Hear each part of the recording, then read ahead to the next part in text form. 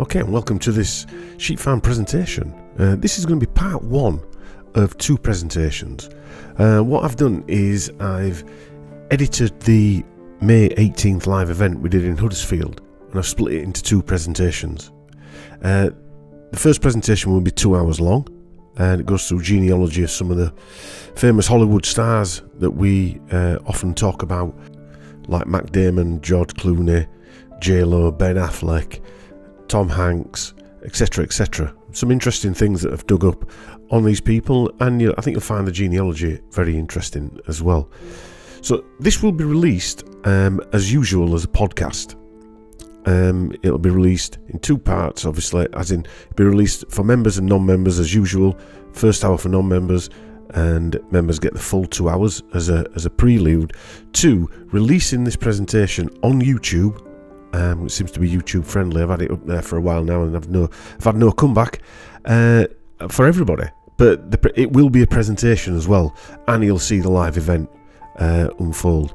And then the following weeks, uh, I will release part two of this presentation, which will also be about two hours long, uh, and that will cover a few of the interesting families like Laurence Fox. Um, and people like that, the Fleming family, and also I've done roughly about over just over an hour on Dom Joly's background to finish it all off. So I'm sure you'll enjoy part two when that's released, and we'll do the same thing with that. Be released in two parts, members and non-members, um, and then we'll release it on YouTube um, as a premiere. So we'll have a chat going on there as well. And also mixed in with this uh, release, you'll see some of the video from the live event as well that I've mixed into the um, video when you do get round to watching the video. Okay, that's it for now.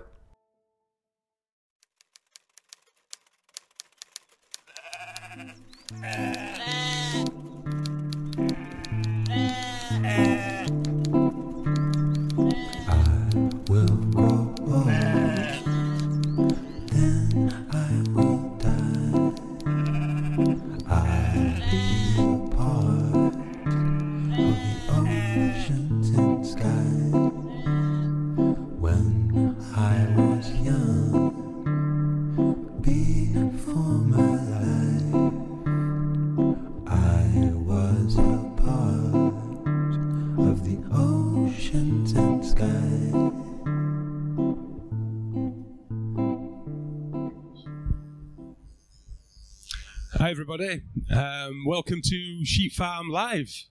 Uh, thanks for coming. Uh, quiet in the cheap seats, please. Um, everybody got a drink from the bar. So before we start, um, we're, we're having an interval. Fire. There's one guy left. Are we having an interval? Can't blame him. He's going to listen to us, idiots. um, are we having an interval? Yeah, we'll, we'll it'll be about an hour and a half. This then we'll we'll have a break, and then Mark's going to come on and do a presentation as well uh, when he arrives, and then later on he'll start about four-ish till about half five. We're not going to be glued on time, you know, where our presentations go. Like, yeah, Yeah, it's free beer. yeah, we have it. It's in your from your it's from your wallet. we copied your card as you came through, and yeah. yeah, so then we'll do a Q&A and a mini discussion uh, probably afterwards. More of a discussion. I've got a few stuff that we'll talk about with Mark as well. Um, but yeah, did anybody come to the last one? Yeah, yeah. Well, it'd be same presentation, so you might as well go. I'm not joking. Hardcore. yeah, yeah, yeah. no, there's a couple of things in it that are the same because the link with uh, some of the stuff. But I've gone a bit, little bit more, went a bit nuts this week actually. Uh, thanks to Lorraine. Always someone to blame, Lorraine. Yeah, no, no, it was me. Usually Uh, me. Yeah. It's all your fault. Everything's my fault. Yeah. Uh, just, if you haven't seen us before, you do think his nostrils are bigger than mine, don't you? Should have got that in, shouldn't I? I can't Yeah, believe I you didn't should say have, it. yeah, I'm straight in with it. we all know who's got the biggest nostrils. it's Ed me. By the way, um, just to say, I know I said this in his uh, podcast, but everyone says how weird it is to see us here, but he's definitely weirder for us. There's high for 100 people. From the corner of my poky little living room to here. It's very bizarre. it, weren't, it weren't something we planned, you know. Um, definitely not. Uh, anyway, Here we are. yeah, but here we are. I'd like to thank all the staff at Pennine Manor as well for allowing us to do these type of talks. Places are getting a bit thin on the ground. We can do these things. It's thanks to our mate Louise, who'll be in later on. Uh, she works here, um, and uh, and Josh as well, who's not here today, uh, for helping us get get this on. Uh, because, like I say, they've got another one actually in the northeast, which might be an interesting uh, thing. They're just renovating it at the moment. So, the back end of the summer, I'm talking to them about doing one up there. Nathan and Chris. um, yeah. So this is entitled "No Plumbers Allowed 2. Um, if you know why we call it that, Mark's got this ongoing theme where he says none of these people's parents are plumbers, uh, and in the gene in the gene pool. So what I put no plumbers allowed in the gene pool, if you like. But actually, I've actually found one. I've actually found a plumber, Well, it's, Uh, it's, more to, it's more to do with the fact that. and it's not that weird uh, Rod Stewart looking freak. They're all- Who looks like Rod Stewart's Pimlico plumbers. It looks like Rod Stewart's there, sorry, yeah. Yeah. Plimlico or whatever it's called. he- Mark says that um, they're- they're all military. None of them are ever plumbers. If you Yeah. knew, if everyone were a, everyone's parent were a plumber, it'd be weird. yeah, it in would fact, be weird, yeah. Right, well, I, I, I'm going to start with this video. So if you were here last time, you would have seen this Julian Huxley video. What is the bearing of the laws of heredity upon human affairs?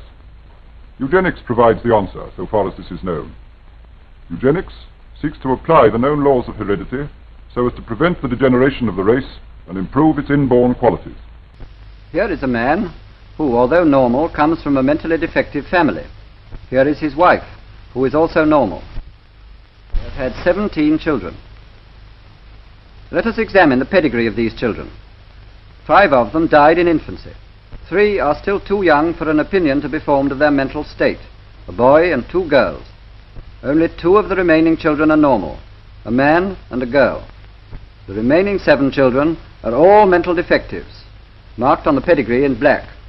Of these, two live at home, a man and a crippled dwarf girl.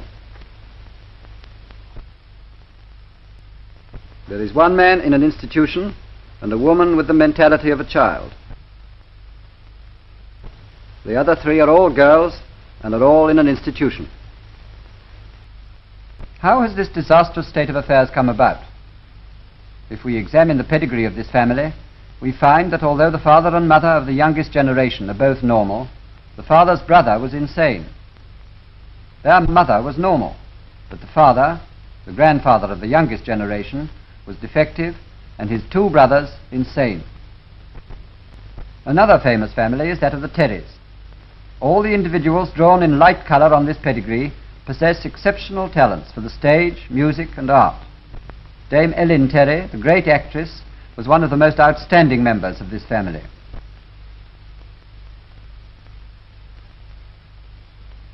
Here is her portrait as Lady Macbeth, which is now in the Tate Gallery. Beside it stands her daughter, Edith Craig, who is an actress and an expert in historical stage costume, and well known as a producer of stage plays and pageants. Her brother, Gordon Craig, is recognized both in England and abroad as a genius who has been a notable pioneer in modern stage design and lighting. His son, Edward Carrick, is a stage designer and artist. Now let us see some of the other well-known members of this family. Ellen Terry's brother, Fred Terry, the famous actor, married Julia Neilson, an actress and singer. Their daughter, Phyllis Neilson Terry, is a distinguished actress with a beautiful singing voice. Her brother, the late Dennis Neilson Terry, had a distinguished career in the theatre, and his daughter Hazel is now at the beginning of her career on the films.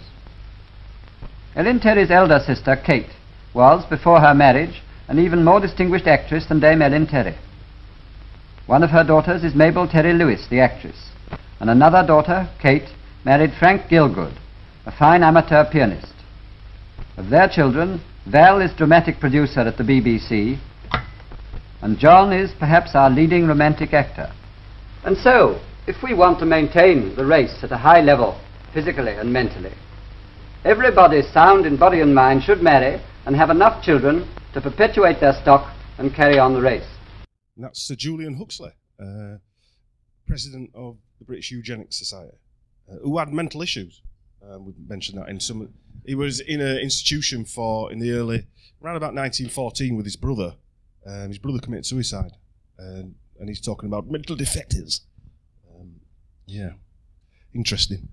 Um, so our talk today is going to be about individuals that are working behind the mainstream um, from some chosen bloodline family.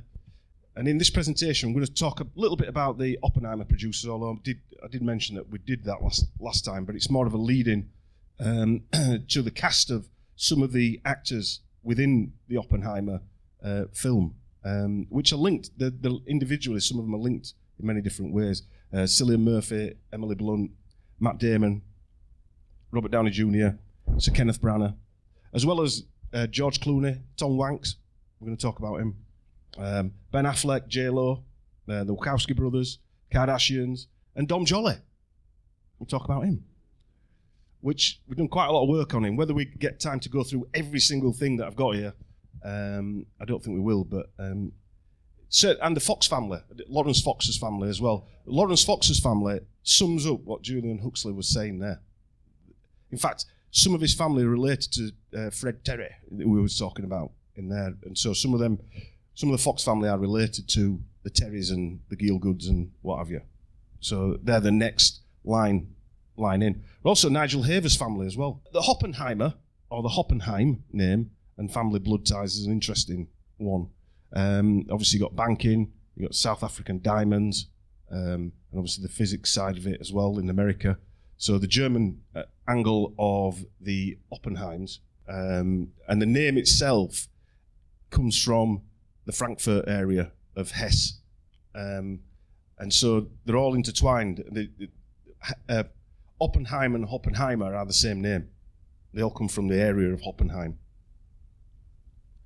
So, and obviously got the Frankfurt University. So it was an interesting story. I don't know if you've heard us tell the story about the Nolans, not the Nolan singers, as in the sisters, but uh, Christopher Nolan and his, his family. Has anybody heard, heard, that story? I know some people who've been here already will have done. You, yeah. Um, I think we talked about on Rise Above, didn't we? Yeah, we, we, we have mentioned it a few times over the last few weeks because it's an, it's an interesting, a very interesting story. So you've got um, uh, Dame Emma uh, Nolan, or Lady Nolan as she is now. She's just been uh, given a gong and that's another thing you seem to realise. A lot of these people have got uh, gongs, more gongs than a gong collector. uh, uh, she, she earned recogni- recognition for producing all the films by her husband, Sir Christopher Nolan, who's just been given a gong in March as well, uh, that have grossed about $6 billion worldwide. So it's not the monetary thing, it's more the influence that a lot of these films have, um, which I know we, we're going to talk about in a sec. So that's her there. Go on. No, but the reason we're the Nolans, the, fall, the Fallout thing. No, the reason that we. No, we're gonna, we are going to. Oh, sorry. You haven't read it, have you? I have read it. No, it's just pointless, isn't it? My work is pointless. It's just pointless to. Uh, yeah. No, we are going to talk about that, though. No, we're not going to skip that. Um, so yeah, they made the, obviously the film Oppenheimer. Uh, her father, her father worked in the civil service, and she was going to be part of the civil service as well in the Far East uh, or the Middle East and she intended to join the being a diplomat and etc. But she decided to go into the film industry, and you see this quite a lot that there's people going into, or they've got family in the diplomatic services that tend to then go into the media services or um, films or music. Um, Christopher Nolan's uncle, you can see him there with that lady in the middle.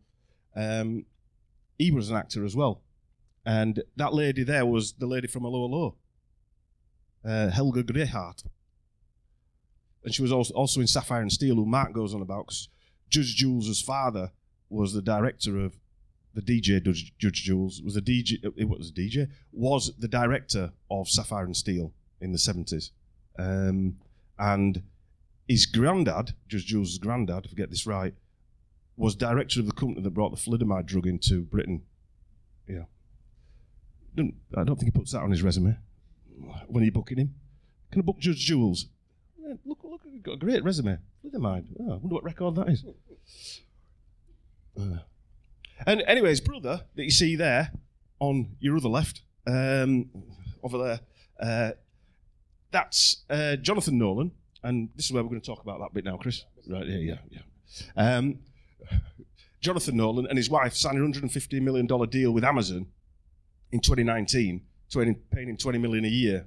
Uh, as executive producers of The Peripheral, and they've just released the new uh, series Fallout.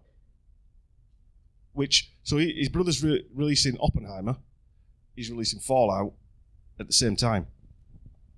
So work that Oh, one the, out. the, no, the point being is obviously Oppenheimer was a, a propaganda to scare the shit out of everybody about nuclear weapons again after the 80s, like a re rejigging of that.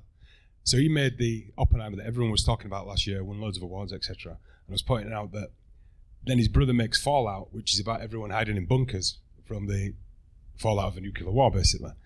But both those films show quite graphic. Well, I hadn't seen, I hadn't seen um, Oppenheimer actually, but they show quite graphically a nuclear bomb going off and the devastation, which we hadn't really seen in films for a long, long time. I don't think. Um, and he was just interested. to and it coincides with all the Ukraine Russian Yeah. tanks and yeah, yeah. Uh, just terrifying the shit out of everybody.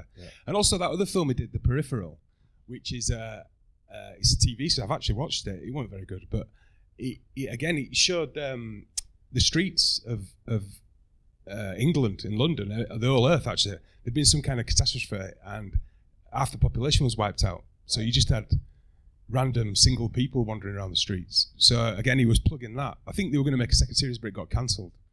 But just interesting that these two brothers are, um, yeah, making more nuclear propaganda. And also in Fallout, they're in the bunker, and excuse me, in the original in the game, uh, the, the bunkers have got different numbers, and in the in the film, the, the TV show, it's bunker thirty three. So everyone's walking around with a nice big yellow thirty three on the back, wherever you make of that. we know what to make of that. um, Christopher Nolan, uh, well, their, their other uncle were also worked at NASA building guidance systems for rocket programs. So their uncle worked, for, uh, worked at NASA for the Apollo rocket program. And he apparently sent uh, Christopher Nolan, uh, the first guy we were talking about, the launch footage. And, and he refilmed it and put them on screen in one of his films. What's that film he, he did? A, Interstellar, was it? Interstellar. Yeah. So apparently that's Apollo rocket footage bollocks. Yeah. So one of the, one of the interesting uh, parts of this that it's sort of it's, yeah you have to slap yourself around face sometimes or slap Chris around face. Um, I read an article about the third brother, the elder brother called um, Matthew Nolan, uh, and his sordid past of the third brother. Um, and he was an accused assassin or hitman. I had a third brother. Yeah, so do I. Yeah. Especially if it, if it was an assassin and a hitman. yeah. Fucked. Yeah, yeah. yeah. He's coming now. Do him. Garroted. Yeah, yeah. Uh, in the article, it says Matthew Nolan, the eldest of the two Nolan brothers, uh, had a checkered past. This was the early 2000s we're talking here. And he was, uh, it involved stolen money, uh, diamond dealing, which again goes back to the Hoppenheimers, gem dealing. Um, I hadn't even thought about that till just then.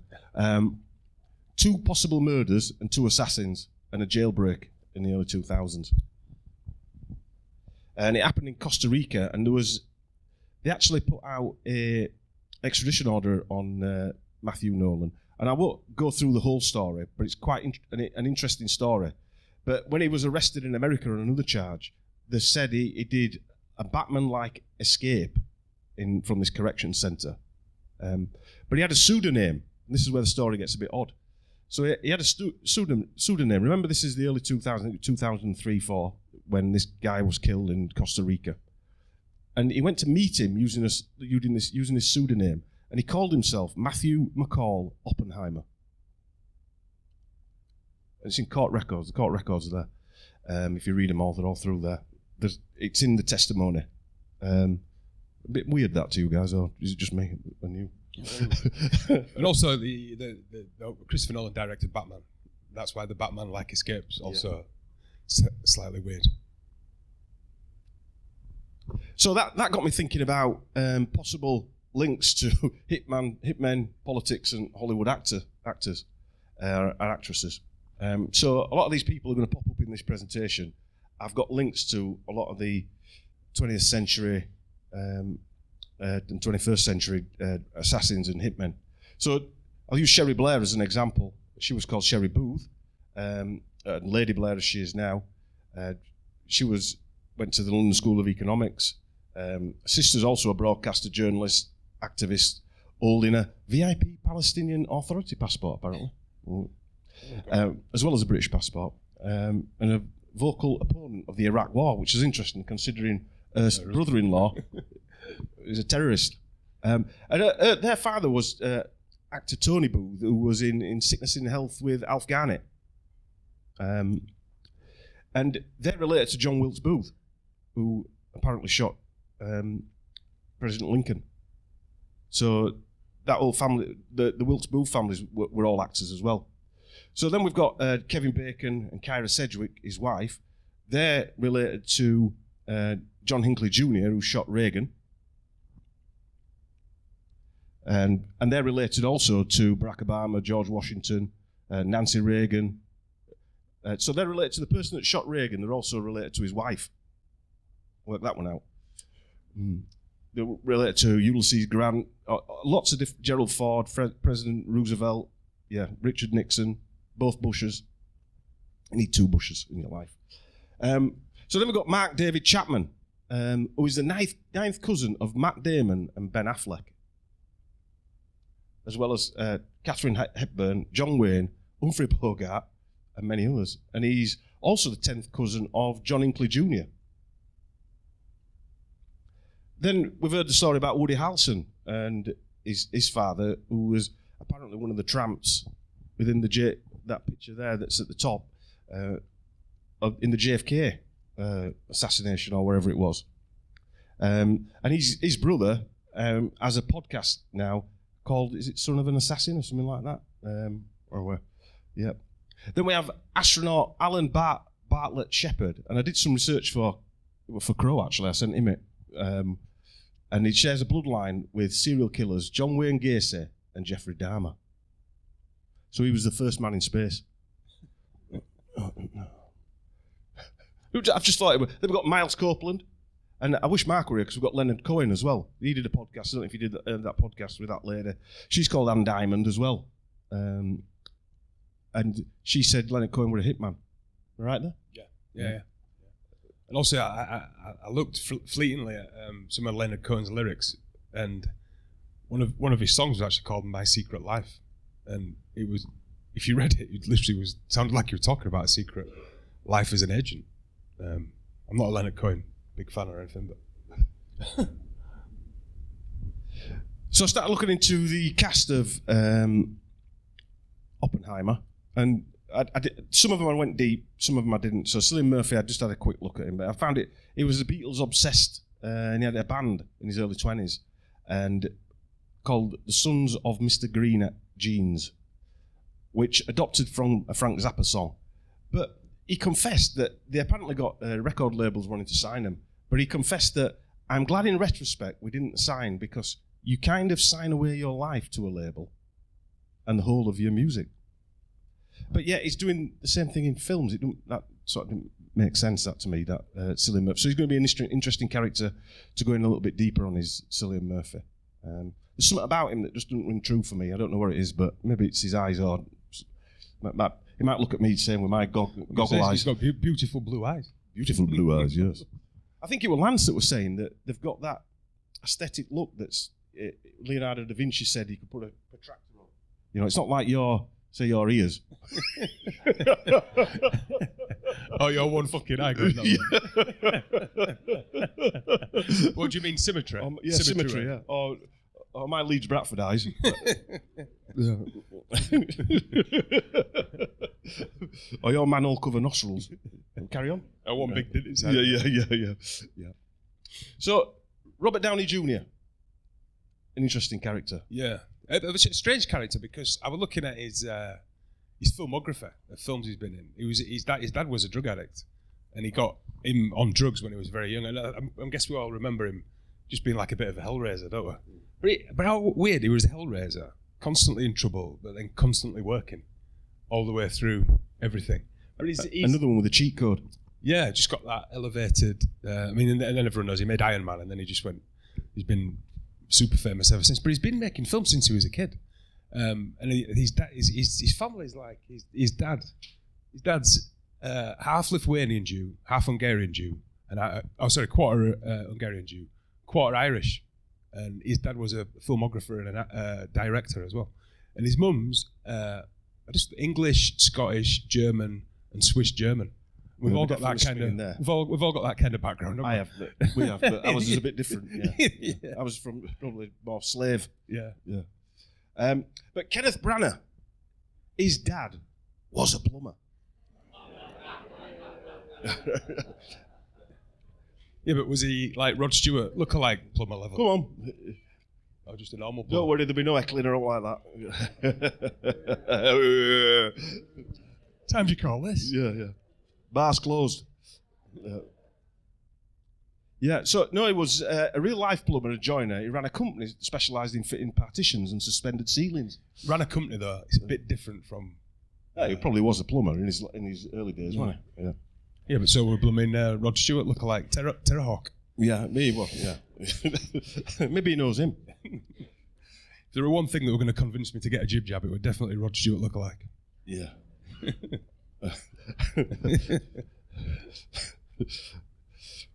you want to talk about Dame Emma Thompson? Because she did you say she's not married to? Uh, No, she's married to Branagh. Branagh, isn't she? but I mean, I, I uh, yeah. say I know anything. about Although his, uh, his dad was a plumber, um, and he fitted suspended ceilings, um, or was, was suspenders, one or two, I can't remember. Anyway, um, he married Dame Emma Thompson, um, and she comes from a family of actors as well. And her dad, Norman Thompson, was um, narrated the Magic Roundabout.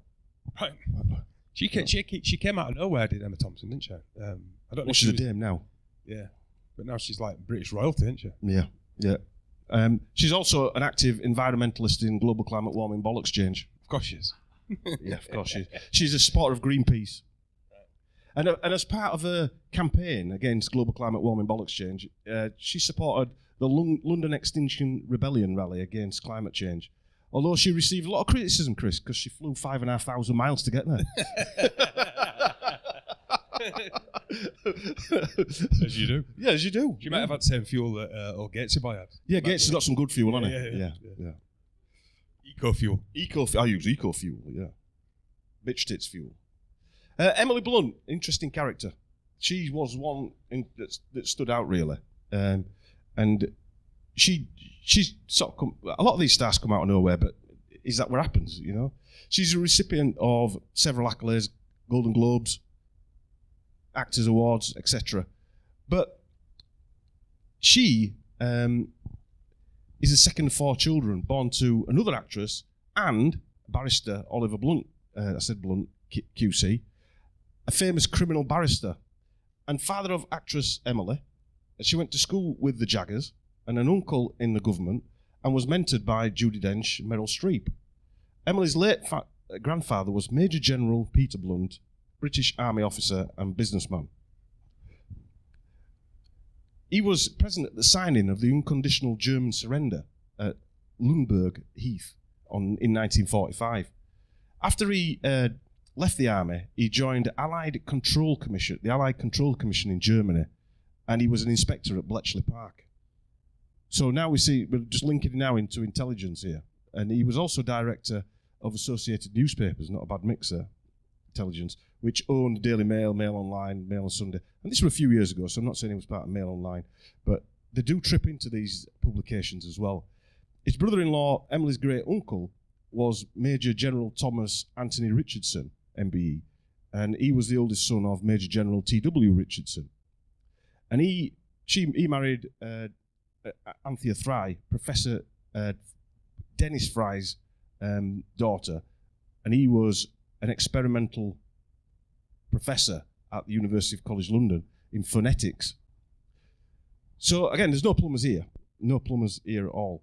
Um, but th- she has got government links. There's no doubt about that, and she also has got into the LGBT side of it um, as well. Just a slight interlude here. Um, Emily Blunt is the second of four children born to actress and English teacher, that's another actress, Joanna Mackie, and barrister Oliver Blunt, QC. He's a famous criminal barrister, and he is the father of, obviously, Emily Blunt. All her brothers and sisters are uh, actors as well. Emily's husband uh, is an actor and filmmaker, John Krasinski, or Krasinski. Um, Time named him one of the most 100 influential people in the world. And remember, Time is owned by World Economic Forum stroke Young Global Leader, uh, as we shall find out later. In an interview he did, uh, John Krasinski also sold the 2020 stroke 2021. Um, in an interview he did, he was he said um, his heart was shattered when his children asked him if they'd be okay during the uh, nonsense. So he and both of them selling the uh, nonsense as well. He played um, he played that part as well. The Clear and Present Danger. John Kransky. Yeah, Yeah. he played that uh, secret agent who, Right. who uh, Harrison Ford played. What's Right. his name? Do you know what I mean? Yeah, I know what you mean. Yeah. Tom Clancy guy. You think he did a TV series with Mm. him about about him? So again, if they're making shows like that, they've uh, got CIA influence, haven't they? His- A sister is a literary agent uh, for the Curtis Brown Group. Um, she's married to Stanley Tucci. Remember that actor in American American actor Stanley Tucci. So they're quite linked. Uh, the Curtis Brown Group as well are owned by the, a massive talent organisation that basically owns all all the talents. You, you know, and I, and, I, and I looked up a few of the people that were own, that were own the contracts to some of these uh, comedians, uh, like Jim Carrey, and I thought all these people, I bet they've had mental illnesses. And oh, all right, Jim Carrey stated he was on Prozac for a long time. Dave Chappelle had a mental breakdown, disappeared to Africa. Will Ferrell has dis- dissociative personality disorder, and Ben Stiller has bipolar. So, I, and I, I thought I, didn't carry on because I knew all of them probably were going to go down the same road. But, but but but was it was it that they had these illnesses, or was it that they were selling these illnesses? I don't know, maybe both, because Ben Stiller's selling the rusty tank stuff, wasn't he? Yeah. He went over there and shook that pygmy's hand. Oh, you gave him an Oscar, didn't He gave him an? Oscar. You gave him his Oscar. Yeah, he gave him his. Ben Stiller did all with that um, Oh, Sean was, it, Penn. was it Sean Penn or Ben Stiller? Might be. I don't know which one. I've lost. I've lost track. Well, oh, it might be- Bono. it might- it might- yeah, we'll look at- Or are they the same people? Bonner who looks weirdly like Sean Penn. Who look, literally looks like an old woman if you put a blue rinse wig on. It might even be that plumber. Could be. Yeah, Rod Stewart's ass.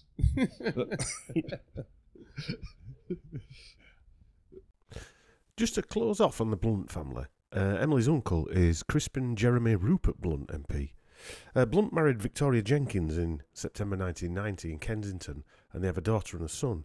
In August 2010, he announced that he was leaving his wife in order to come to terms with his homosexuality. In January 2016, he stated that he used poppers during a parliamentary debate. I don't know whether it was during the parliamentary debate that he used poppers or that he was discussing them. And they discussed banning them along with other legal highs. He stated, I out myself as a user of poppers. I'm astonished to find the government is proposing it to be banned, and frankly, so would many other gay men. Matt Damon. Guess what? His dad isn't a plumber. Hundred percent isn't a plumber. Matt Page Damon. Um, he was ranked as one of Forbes, and I don't know what this means, but most bankable stars, and and one of the highest grossing actors of all time. Just from nowhere, Chris. But his dad's was a stockbroker and a film producer. But he came from nowhere. Struggled his way to the top. Yeah, just fought his way to the top, and here he is at the World Economic Yeah, Forum. fact, before you show this, this, this, um, you showing that video. No, because I just noticed on this video, it's going to show in a minute. He's got Klaus Schwab, and you can see he's basically very excited that Matt Damon's there at his gathering of psychos. But if you just watch, watch when Matt Damon says something, he's laughing. He's laughing and he's kind of looking around, and he, you know, he wants everyone to know that he's got Matt Damon there. But there's a guy to his left. You're very right. camp then. There's a guy. There's a guy to his left or right. I'll let you wait fucking microphone. That's more manly. There's a guy to his left or right, and he's looking at him like he wants his approval. And this guy's just on his phone while Matt Damon's talking. And I just thought it looked a bit odd. I, I'd be interested to know what anyone thinks. Just watch it's on that bit of video. US actor Matt Damon received an award at the World Economic Forum in Davos on Tuesday night in his capacity as co founder of Water.org. The American non profit organisation is committed to providing safe drinking water and sanitation to people in the developing world. In his speech at a ceremony honouring him and three other artists, Damon jokingly thanked the Hollywood Foreign Press Association for the big honour. This is a really, really big honor, and I want to thank the Hollywood Foreign Press Association. Wait, sorry, that's the wrong speech. This is the Golden Globe speech I never got to give. I know I didn't win, but to be honest, I kind of want, want to give this speech anyway. It's pretty good. There's this part where I talk about what it was like working with Michael Douglas, and I get kind of emotional. It's really good. And then I get a big kiss from Bono. Anyway, I don't know. I'll do that next year maybe. Um, I've got a different speech I want to give tonight. Um, this really is a great honor to receive the Crystal Award. On a more serious note, Damon asked the audience of the world's political and business elite to get on board. We are just getting started, and we need you on board because access to water, fundamental as that is, is not an end in itself. Access to water is access to education, access to work, access above all to the kind of future we want for our own families and all the members of our human family. Thank you again. The annual Crystal Award ceremony traditionally marks the opening of the WEF and is hosted by Hilde Schwab, co founder of the Schwab Foundation for Social Entrepreneurship and wife of WEF founder Klaus Schwab. Other recipients of this year's award were Peruvian tenor Juan Diego Flórez and Munich Philharmonic conductor Lorin Maazel. The Crystal Awards honour artists whose important contributions are improving the state of the world, according to the WEF. Damon went to Harvard, uh, Damon or Demon went to Harvard University, um, and he was a member of the Del- Delphic Club, which is one of the final select clubs, a bit like the Bullingdon Club um, an all male social group, um, and goats. Um, like goats there, Chris. Matt Damon is a direct descendant of Mayflower passenger Richard Warren, the signer of the Mayflower Compact, the first governing document of the Plymouth colony, and the legendary buffalo hunter. You might have known him. Pony Express rider and sh- and showman Buffalo Bill. So he's related to Buffalo Bill as well. Oh, and did I mention that his bloodline goes back to Edward III? It's a highly influential Plantagenet bloodline of Edward III, and the 21st great grandparent of Matt Damon is Edward III. He also descends Edward Henry II, King Robert I, J.P. Morgan, Benedict Arnold, a relation of the Huxleys, Allen Foster Dulles uh, and Foster Dulles, the CIA uh, starters. Boris Johnson's an eighth cousin once removed. Ninth cousin of David Chapman, as we mentioned earlier, and the Bushes, and Walt Disney and Taylor Swift. And he's the 19th cousin of King Charles. She's quite connected, I'd say. Um, and finally, he's the 10th cousin of his best mate, Ben Affleck, as well, who we went to school with. And they're both uh, started two production companies with uh, Ben Affleck and Damon did. And Damon's involved in his charitable work, as he was talking about there, which I'm going to go into now. This is a bit of a detour, but the one campaign which he was talking about here uh, was founded by Bobby Shriver III and Bono, along with a coalition of 11 non profit humanitarian and advocacy organisations, including Oxfam and Bread for the World. Funding was also provided by Bill and Melinda Gates Foundation. Shriver is not really a Shriver, he's actually from the Kennedy family. He's a nephew of JFK and RFK. In addition to one's long term relationship with the Bill and Melinda Gates Foundation, the campaign is also funded through partner organisations like Apple, or Tapple, if you're from Yorkshire, uh, Bank of America. Bank of America is that one where Ed from Outer Light goes on about it being that yeah, Masonic entrance, yeah, isn't it? You got the Masonic pictures. Yeah. yeah uh, Bloomberg, uh, Cargill, that, uh, uh, Caterpillar Foundation, Coca Cola, Ford Foundation, Google, Merck, Roche, Rockefeller Foundation, etc., etc., and the Skoll Foundation and open societies. So that's who he's selling. He's selling all these people here. And Salesforce are also part of it, which was founded by a former Oracle guy, and I've mentioned him in other podcasts, Mark Benioff. Um, and it's now the 61st largest company in the world. And he was also, what I'm finding as well, a lot of these people are young global leaders. So the guy that started Salesforce was a young global leader. Oracle he came from Oracle that was started by the CIA because the guy that started Oracle, um, Larry, wherever he's called, he worked for a company that was doing a CIA program and he jumped ship from that company and the program was called Oracle and his first customers were the CIA. And Oracle now run all the technology within the British government and most of the governments in, in the world. So who's running them? I can only guess. The Skoll Foundation, set up by Jeffrey Skoll, who was one of the funders, um, he was it was set up by the he was ex-president of eBay, and whose founder Pierre Omidyar was also a young global leader, and In 2016, Skoll, along with Bono and the investment firm TPG, co-founded the Rise Fund. There's a lot of these. That's Rise, as in R-I-S-E, with a two billion social impact fund. Um, a series of strict metrics by which measure social impact. Rise has invested in more than 25 growth stage companies that are making a measurable positive social and environmental impact. Bollocks. you haven't read the literature, Chris. Uh, Skoll owns Participant Films, and if you've seen us talking about this before, Participant Films, I think it's closed down now. Actually, um, they made films about like for social ac- uh, camp- action campaigns, um, and he made they made Al Gore's uh, film An Inconvenient Truth, uh, which won an Academy Award. Syriana for George Clooney and Matt Damon, um, which Clooney won an Academy Award. And in 2011, then the participant made they produced the film Contagion with all those uh, basically the same thing as what happened in 2020. But uh, They made Inconvenient Truth 2 as well. Oh, Even fantastic. None of the first one came true. he won an Oscar, made millions out of it, and he made a sequel as well. got a hockey No, stick, hasn't no dogs, sorry. No dogs, sorry. We're joking. Shouldn't like she wanted to kill us then. No, no. oh, dog, Sick, oh, dog did. Dog did. Attack. Yeah, yeah. Yeah. An assassin dog. Yeah. And he's in Inconvenient Truth. None of it came true. Literally none of it. I think Maldives was supposed to be underwater. I think London was supposed to be underwater. Nothing happened. Um, Well, e- even in the blurb that it says, it says in 2020, following the 91 COVID 19 pandemic, media coverage noted it was shockingly in its accuracy. accuracy. So even- contagion. yeah, contagion. Yeah, yeah. yeah. I mean, um, all those nut jobs, I'm sure. Didn't Wancock say that as well? Yeah, he, he, he know, did he, say he that, said didn't he took some of the things they were doing from the film Contagion. Couldn't make it up, could you? But I mean, I mean, I'm sure a lot of us. Somebody Not, did. I mean, we went through Contagion with a fine tooth comb. Everybody did, and you could see all the parallels. I think they mentioned lockdown. Everything was in that, wasn't it? Social distancing, the lot.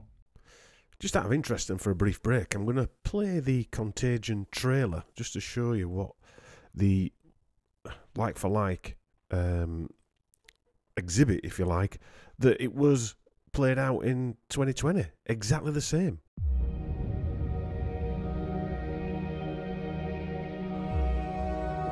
Groundbreaking ceremony for a new factory.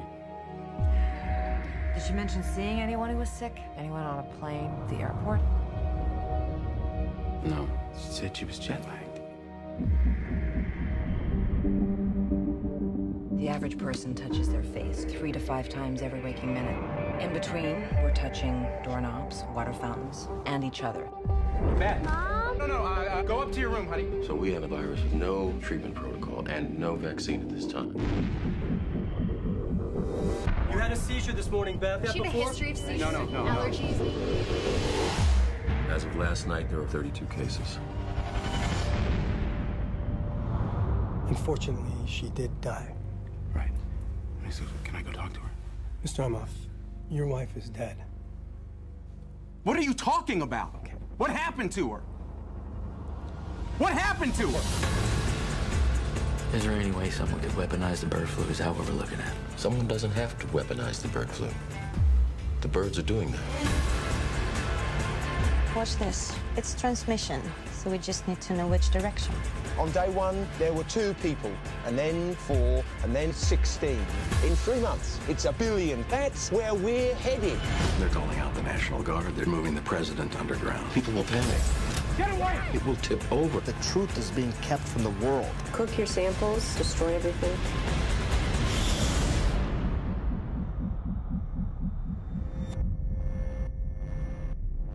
Hello. I need you to get me the names of everyone who serviced this room. It's an emergency. You can't panic now. I know. I'm gonna get you home. I got people too, Dr. Cheever. We all do. Don't talk to anyone. Don't touch anyone. Stay away from other people.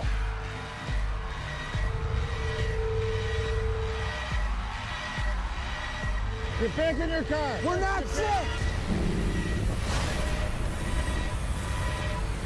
It's figuring us out faster than we're figuring it out. It's mutated.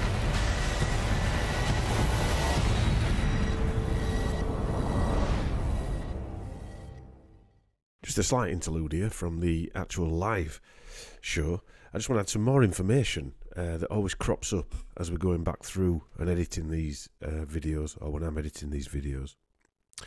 As always in these presentations, for the benefit of time, we edit out information as we go along, uh, either knowingly or unknowingly, uh, just to give the overall picture um, during the presentation as the best we can. But anyway, um, I just want to point out two of the recent CEOs of the One campaign. Uh, in March 2017, uh, a lady called Gayle Smith was named as president and CEO of the One campaign. Smith was formerly a co- coordinator of the global COVID response and health security at the US Department of State and was the former administrator of the United States Agency for International Development called USAID. From 1998 to 2001, she was special assistant to Bill Clinton and senior director of for African Affairs at the US National Security Council. Smith was also the chairman of the working group chair on global poverty for the Clinton Global Initiative, which is another NGO.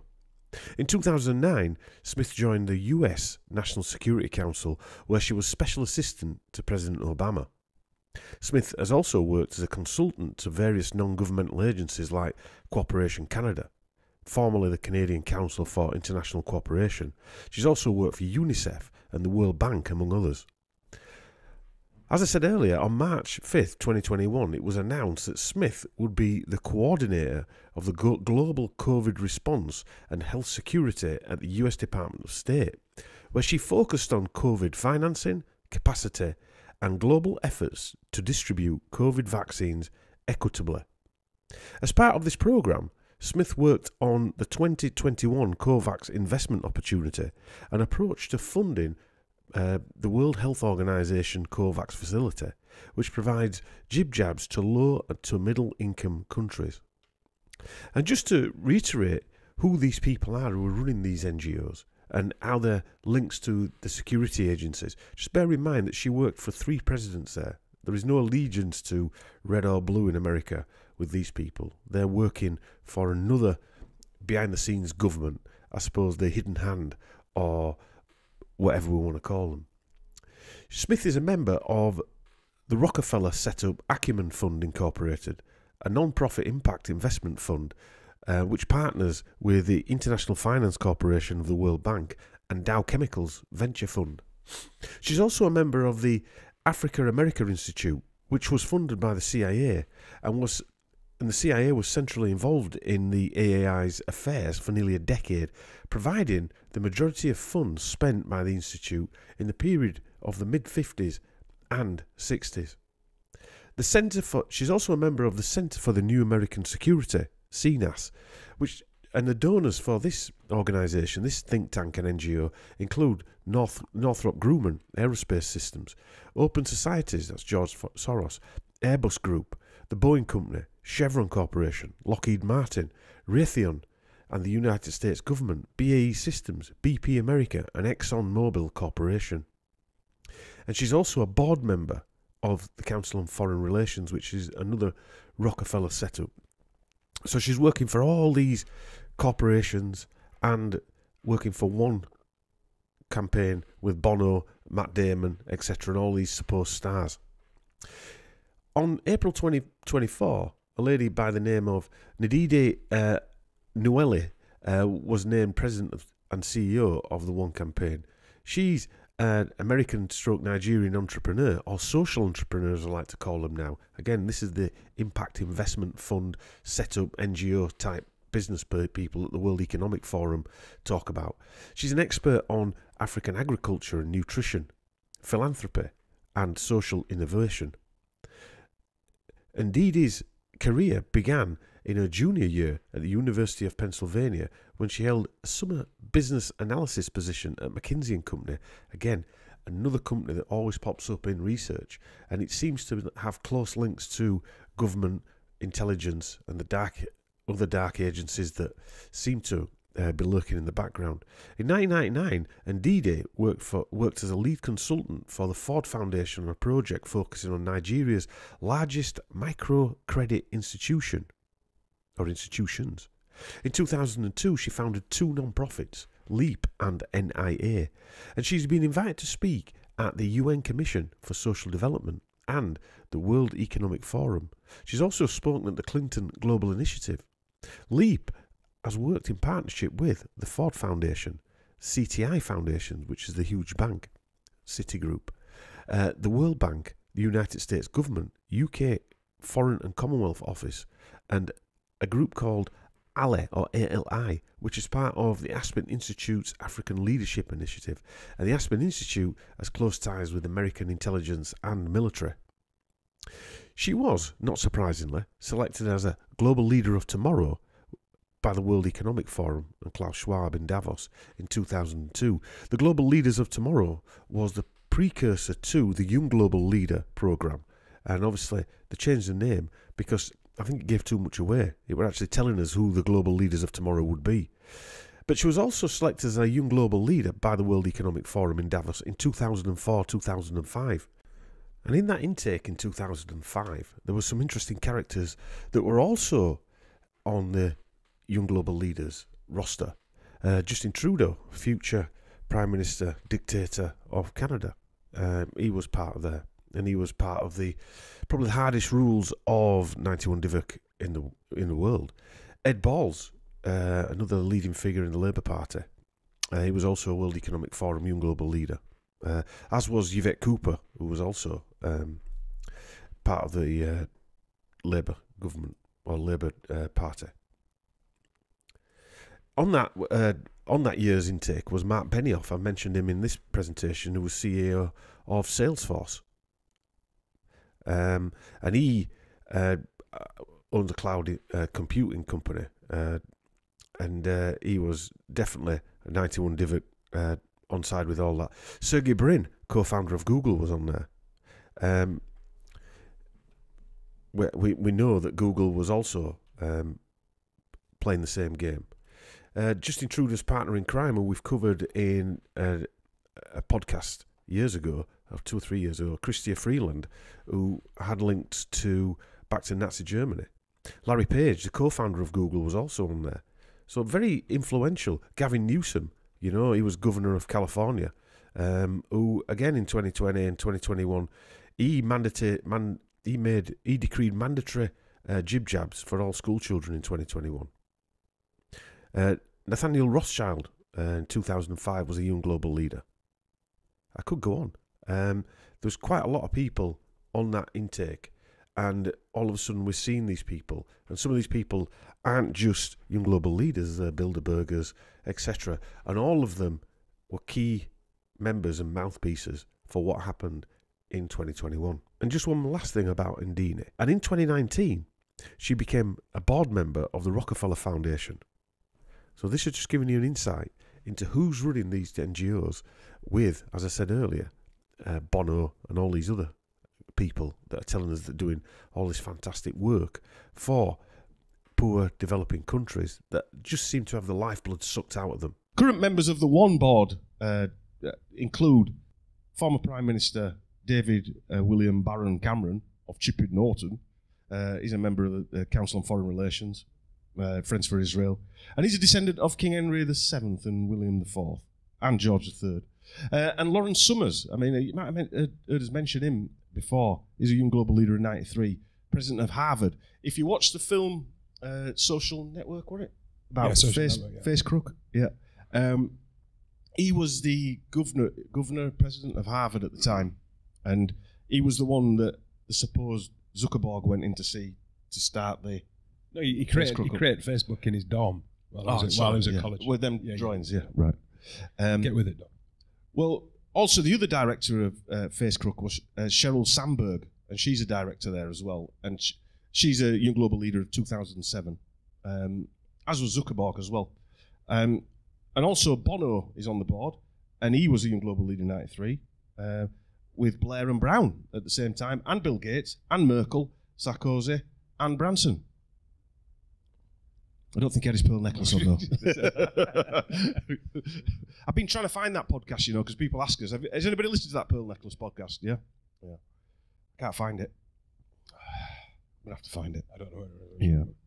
So you can see the links to these innocuous NGOs that are coming through with all these people involved with hundreds of millions of dollars that actually achieve absolutely nothing. There's another one called Water.org that is involved with set it up with a and water partners and H2O Africa Foundation. Just using these characters. Yeah, using these actors who have got these uh, distinct bloodlines within there. And then we come to this guy here. Um, I don't know if you've seen this guy before. Um, Peter Brabeck Letmathe, um, ex-CEO of Nestle. Um, yeah, former chairman of, of Nestle as well, uh, Nestle Group. Um, he, he's got links to the CIA as well because he was part of Nestle in the 70s or 80s when the CIA overthrew uh, or conducted a coup against the um, government in Chile. And a lot of the big corporations who were there um, helped the CIA. Nestle was one of them while he was on the board of directors. So he would have known rough what was going on. Um, he's also on the board of Credit Suisse, L'Oreal, ExxonMobil. In addition, he's a founder and chairman of the 2030 Water Resources Group. Nothing dodgy there.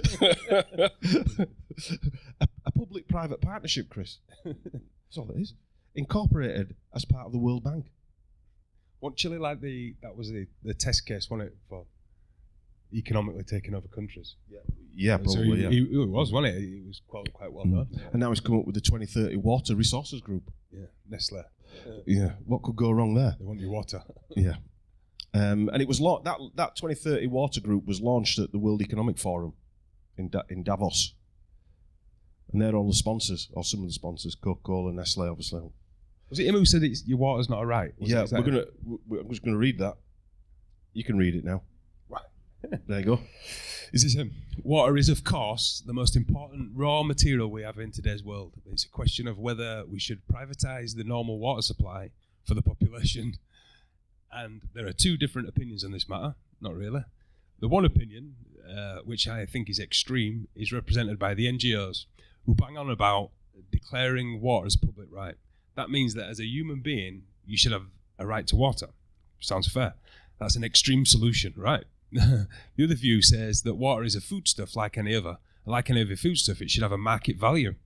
Personally, I believe it's better to give a foodstuff a value so that we're all aware of its price. And then that one should take specific measures for the part of the population that has no access to this water. And there are many different possibilities there. But what a wanker. But yeah, well, he is. But do, do, do, do- do you see what, what he's doing there, though? He's saying the NGOs say water's a public right. He's part of the NGOs.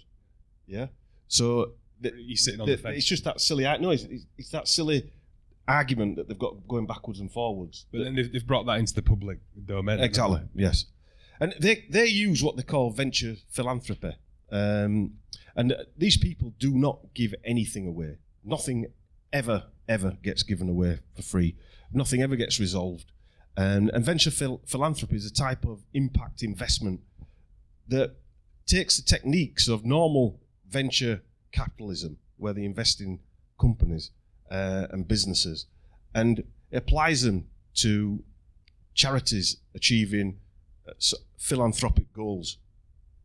So, so for instance, if someone here says, "I'm going to set this charity up," they get ten companies like Coca-Cola to invest, but the Coca-Cola are buying the intellectual property rights of whatever they're coming up with. Yeah, so there's a market value of that. So what they perceive is that by investing in that company, they're getting bang for the buck, but it might sort something out for the public, which it never does. Yeah, but there's always a value there because intellectual property property rights, like I'll use sheep farm. Sheep farm. Let's just say there's a value to it. There's that's investable. Then once there's a value to it, it's investable. Might have no value to anybody else, but it's investable. That's where all money gets floated in. It's uh, it's a scam. It's basically a a, a scam, and nothing ever gets resolved. The term was first used in 1969 by John Rockefeller III funnily enough, to describe an imaginative risk taking approach to philanthropy that may be undertaken by charitable organisations.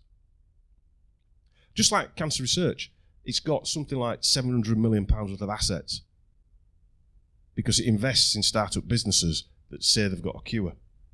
that them saying they've got a cure or a, a treatment increases the value of that asset. Uh, my wife used to work in a bank and look after business, and all the charities always had millions of pounds in the bank, yet they're still raising money. I just want to take a moment to uh, talk about a couple of people that I mentioned over the last five ten minutes when we were discussing Matt Damon and his charities. One of those was Lawrence Summers or Larry Summers. Um, he is an operative, I would say. Uh, he was a professor by the time he was 28 at Harvard.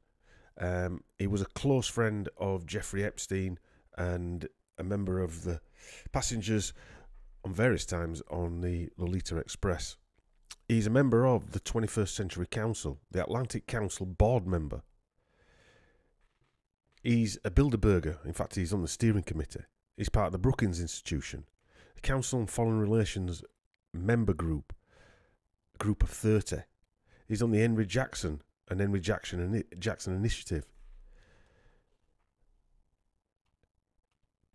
He's part of the Trilateral Commission Task Force on Global Capitalism in Transition, and he was a WEF Global Leaders for Tomorrow member in 1993. In an anonymous document published by American intelligence media, it stated that Larry Summers, then Harvard president, was in charge of a government sponsored military weaponization of cyber warfare project that gave rise to Facebook. He wrote in the article that Larry Summers called Mark, that's Mark Zuckerberg, into the office in early, early in his freshman year. Summers asked Mark to start a group to work on a social media project, a supposed competition among teachers and students to win a government contract. The goal was to create a social media directory and Harvard where people could share in small groups. The real intent was to create a social media network to manipulate the world. Summers was also chief economist to the World Bank. These are the players that are playing. And one of his uh, statements that he's said over his time is that there are two kinds of politicians insiders and outsiders. The outsiders prioritize their freedom to speak their version of the truth. The price of their freedom is that they are ignored by the insiders who make the important decisions. The insiders, he went on, are obedient to an unbreakable code of conduct Never turn against other insiders and don't talk to outsiders about what the insiders say or do. In return, the insiders get access to, to inside information and a chance to influence people and outcomes. He's been a member of the Bilderbergers since 1998, and obviously he's been part of the World Economic Forum since 2004. In fact, he's been since before that, since the early 90s. So we have to ask, who is this guy actually working for? Now, the program that was running before Facebook was called LifeLog. And LifeLog was a DARPA project aimed to gather a single a single place just about everything an individual says, sees, or does. The phone calls made, the TV shows watched, the magazines read, the plane tickets bought, and the emails sent and received. LifeLog aimed to compile a massive electronic database of every activity and relationship a person engages in. This was to include credit card purchases, websites visited, the content of telephone calls and emails sent and received, scans of faxes and postal mail sent and received, instant messages sent and received, books and magazines read, television and radio selections, physical location recorded via wearable GPS sensors, biomedical data captured through wearable sensors, the high level goal of the data logging was to identify preferences, plans, goals, and other markers of intentionality. Another of DARPA's goals for LifeLog had a predictive function. It sought to find meaningful patterns in the timeline to infer the user's routines, habits, and relationships with other people, organizations, places, and objects, and to exploit these pat- patterns to ease its task. Sounds a bit like AI. Lifelog was to integrate components from previous and new government intelligence and surveillance programs, including other programs like Genoa, Genoa 2, and Genesis. These were other programs that were running prior to Lifelog. Project Genoa was a software project commissioned by the US or DARPA, which was designed to analyze large amounts of data and metadata, remind you of anything, to help humans or human analysis counter terrorism. Project Genoa researchers set mock-up, mock-up crisis command center in DARPA's main building, full of monitors staffed by actors, actors, an audience would watch as fictitious scenarios would unfold before them, guided along by an anim- animated video segment. John Poindexter called the presentation A Day in the Life of an Analyst. Another mock centre was set up near Dar- the DARPA building with the help of a Hollywood set designer to serve the same purpose. Project Genoa 2 was scheduled to be a five year long program. Uh, program. Its mission was or the official goals of Genoa 2 were to develop and deploy cognitive aids that allow humans and machines to think together in real time. Means to overcome the biases and limitations of the human cognitive system. Cognitive amplifiers that help teams of people rapidly and fully comprehend complicated and uncertain situations.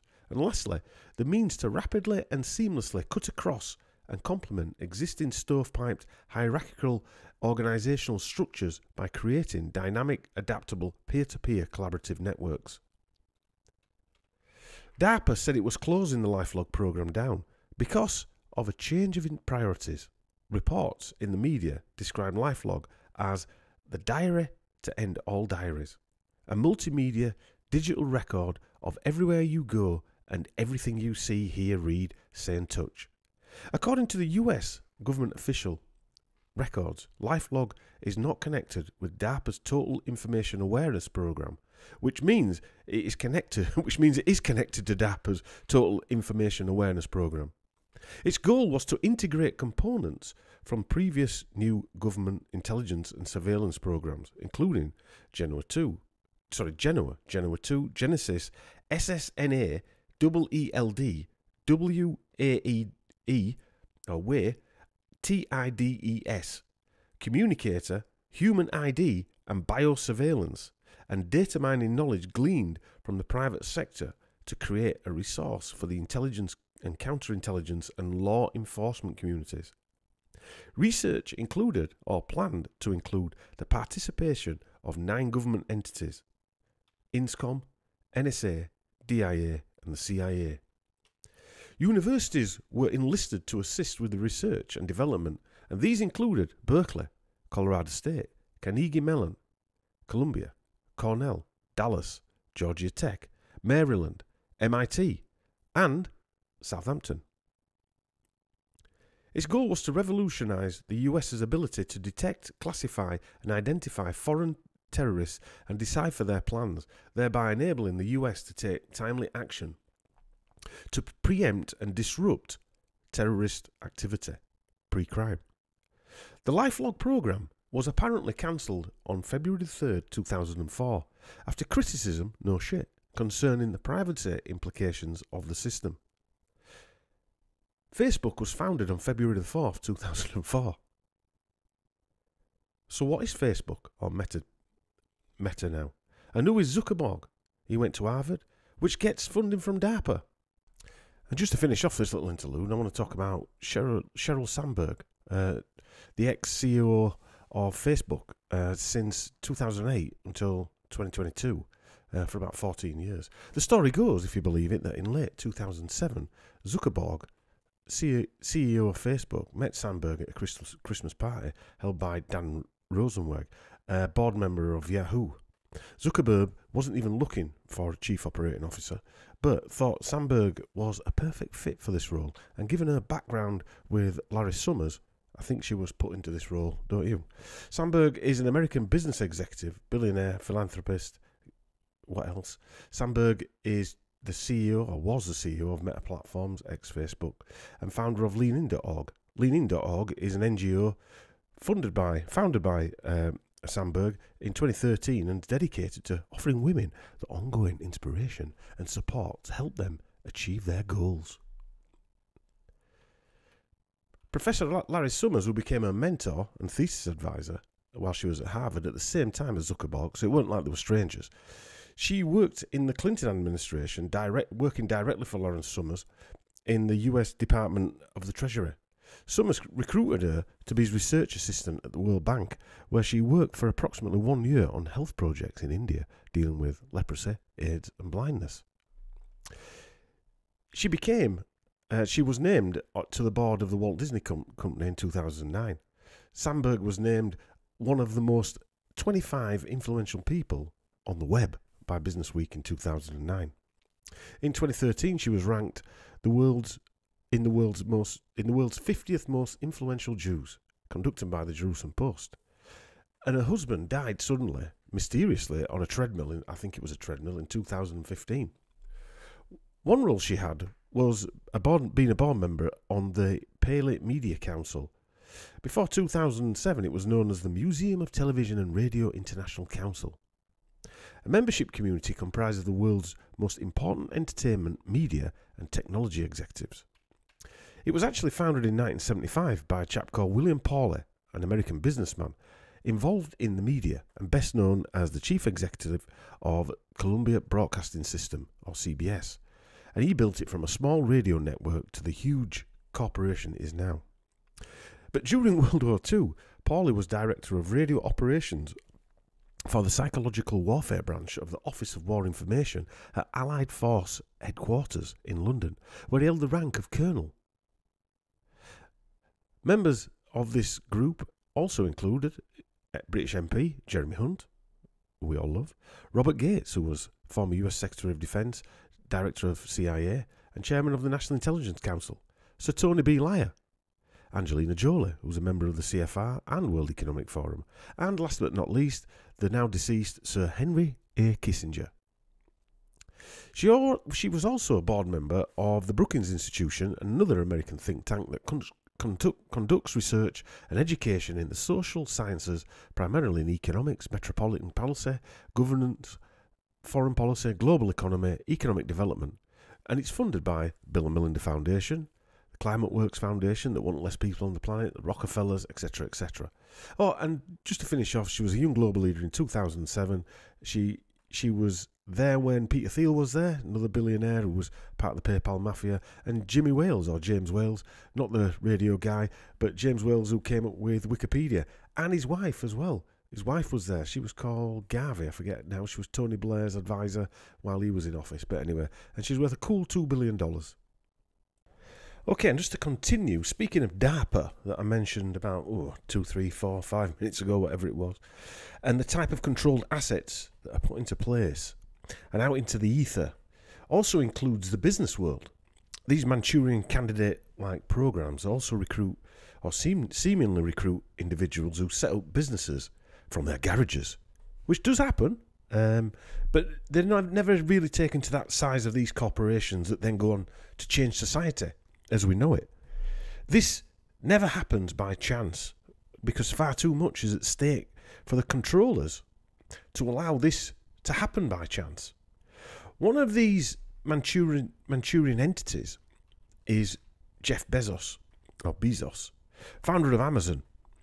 Again, seemingly benign and organic until they start to pull back the carpet or carpets. Jeff Bezos was a World Economic Forum Young Global Leader of Tomorrow, class of 1998. The Young Global Leaders of Tomorrow was the forerunner of today's Young Global Leaders. He looks like another harmless, cross eyed, geekazoid bookworm who started selling books online. and Then, boom, Amazon is now one of the biggest companies in the world. Although I haven't yet found a royal blood lineage, uh, what I can see is a constant link back to the intelligence agencies and generational operations that seem to go on for decades. Bezos is no different from Gates, although Gates does have a royal lineage. So I'll take you through this little explanation here. Jeff Bezos' mother was Jacqueline Bezos, maiden name Gise, G I S E. Her father, Bezos' maternal grandfather, was a man called Lawrence P. Gise. Gise just happened to be the director of the US Atomic Energy Commission, set up when President Harry Truman signed the McMahon Atomic Energy Act in on August the 1st, 1946, transferring the control of the atomic energy from military to civilian hands, which was effective on January 1st, 1947. Gise would have been around 32 year old at that point. But here's where it gets a little bit deeper. It also turns out that LP Gise was named as Deputy Director of the Advanced Research Projects Agency, aka ARPA, by Di- Director of Defence Research and Engineering, Dr. Herbert F. York, who during World War II was working alongside Frank Oppenheimer, there's that name again, as part of the Manhattan Project, or the Mad Hatter Project. York became the first chief scientist of the Advanced Research Projects Agency, ARPA, and the first director of the Defence Research and Engineering Agency. York and Gise were two of the co founders of DARPA, that grew out of ARPA, of whom they were both directors. I'll repeat that. Jeff Bezos' grandfather, Lawrence Gise, was a co founder of DARPA. DARPA then went on to build Lifelog, that I've just mentioned, that then became Facebook. All of these programs I mentioned earlier, like ARPANET and Genoa 1 and 2, and Project Total Awareness, and all the other projects that were running, were all devised by ARPA. Oh, sorry, DARPA, set up by Jeff Bezos' dad. And then Jeff Bezos sets up one of the world's biggest online businesses. Remember, ARPANET was really the first internet devised in the 60s, I do believe, or 70s anyway. This is where these people come from. And there is no, then no plumbers, no plumbers allowed, I'm afraid, in this. Oh, yeah. And just to add a little bit more uh, to this, uh, Jeff Bezos has attended Bilderberger meetings. I think he's attended two Bilderberger meetings as well. So there we go. Right, let's get back on with the live part of the show. Sorry, ladies, you're not going to like George Clooney after this. He's got slightly dead eyes, George Clooney, I think. Yeah. As years have gone by. Yeah. Odd. Odd. Probably because he married that bloke. Yeah. If it is, I'm a. Yeah. George and Andy Clooney. Yeah. A man Clooney. Yeah. Her father um, is part of the Lebanese Druze uh, from the Alam al Din dynasty uh, in Lebanon. And she's a Lebanese barrister. And she's had some interesting go- uh, government jobs. Um, she specialised in international law, apparently, and human rights. And her clients, there's a long list of people and causes uh, that are promoted by Western governments. So she, with uh, like working for the por- uh, foreign policy, uh, sorry, foreign office. Um, she represented Julian Assange, Amal Clooney, um, and I don't know what that means. I don't know what Julian Assange is. Maybe she was a handler or something like that. But she was appointed special envoy on music, media, free, media freedom by the British Foreign and Commonwealth Office. That's his wife.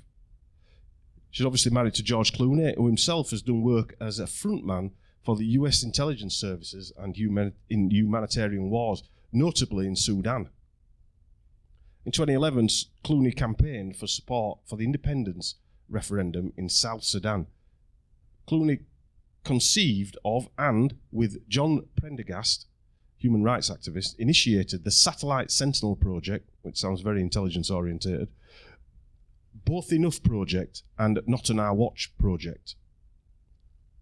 They're, meant, they're major projects of George Soros's and his Centre for American Progress, a think tank funded by Gates, BAE Systems, Northrop Grumman, Lockheed Martin. These are the people he's working for. But he's going for peace, working for armament companies. Um, uh, it also receives donations from Rockefeller Foundation, Carnegie Foundation, the Schwab Charitable Fund, yada, yada, yada. In, two, in 2021, Clooney made it very clear he's fully behind the mandatory COVID 19 vaccines in every walk of life. Clooney didn't see the issue as something which is open for discussion. I think every, com- every company should do it. All the people who want to talk about their independence and their freedom, the minute your freedom infringes on everyone else's, should put a stop to it. reciting the same shite. Yes, yeah. Um, his wife Amal worked for a big uh, law firm called Sullivan and Cromwell, uh, which is part of the Council on Foreign Relations, and it's a corporate member of them. And people who've worked there, Alan Foster, Alan Dull- Dulles, director of CIA, James Corbett, um, summarised Dulles, and I think he summed it up pretty well. A, dip, uh, a diplomat, spy, Wall Street lawyer, philanderer, government overthrow specialist, Nazi collaborator, MK Ultra overlord, presidential assassin, and fascist spy master. He burst in.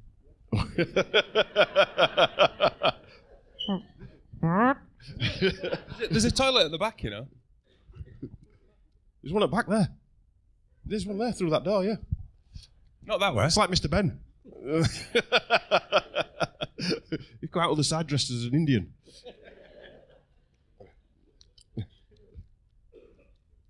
In 2013, she was appointed as uh, to a number of United Nations uh, commissions. Oh, and yes, she was a Wo- World Economic Forum Young Global Leader in 2016.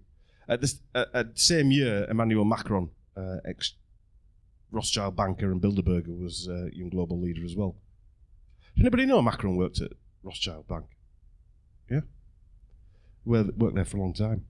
Uh, the Clooney family. There's a real list that goes. This goes back to that Julian Huxley thing as well. Father Nicholas Clooney, American journalist, anchorman, television host. Aunts Rose Clooney, American singer, actress. Betty Clooney, singer, TV presenter. Uh, Miguel Ferreira. Um, he was. He didn't make chocolates. He was uh, actor in RoboCop. You remember him, don't you? Yeah, he was the guy who invented the robot, RoboCop. Yeah. Um, and his uh, and his daughter, I think, plays uh, someone in Grey's Anatomy, Dr. Leah Murphy, um, and she's the daughter and singer of Debbie Boone, and Debbie and the Boone family. Um, you remember Patrick Boone? I got called that a bit at school, Pat Boone. I don't know what that reminded me of. Re- but meant to be remind rhyme with, but I think I think Miguel Jose. I think he died suddenly Yeah, a couple he- of years ago. Mm. Uh, Yeah. Yeah. So he, he also won Best Picture, uh, Did Clooney, for uh, being a producer of Argo yeah, no, in 2012. Yeah. literally and Syriana. CIA. Yeah. Um, So he would have had to work with the CIA on that, wouldn't he? yeah. There's no doubt about that. Well, that goes a story about the CIA going, I forget where they go to another country, It's Iran in it. pretending to be a film crew, but they're Right. all CIA. Right. Um, and he was Time Time Magazine's annual 100, 100 list. Time Magazine's a sponsor of uh, the no, the owner of Time Magazine was a young global leader as well, uh, which yeah, he served in the United Nations and Clooney is also a member of the Council of Foreign Relations, which I think I mentioned earlier. Yeah. Why would he need to be on Council of Foreign Relations if he's an actor? No need for that, is there? At all. Well, it's to drag people in, isn't it? Because you trust them and listen to them, unfortunately. He, he shares a bloodline of the ancient Huguenot uh, bloodline, um, and many famous celebs, powerful people share it. Dom Joly shares it. He's on the Huguenot, uh, as we're going to hopefully get into if we have time uh, later on. Um, not to be confused with the uh, French uh, uh, bloodline, which Trudeau, Madonna, uh, Lady Gaga, and all these other people share. It's a slightly different bloodline, is that? Oh, guys, feel a bit lighter? Good, uh, good.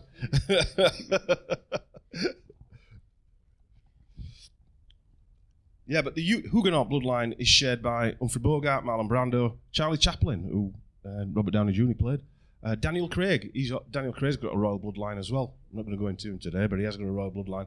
Joan Crawford, Johnny Depp, he's got a royal bloodline. Richard Gere, River and Joaquin Phoenix, and Charlize Theron. Did you find it? Thanks. Yeah. And George S. Patton, Al Gore, Ian Fleming, and Alan Shepard, who were mentioned earlier, was related to all the Jeffrey Dahmer and stuff like that. There is, there is a toilet at the back, guys. There's one at the back. What have you been drinking? No, he wants a pint. Once you've got that pint in your head, you can't carry on. Yeah, got to Yeah. yeah. Um, yeah.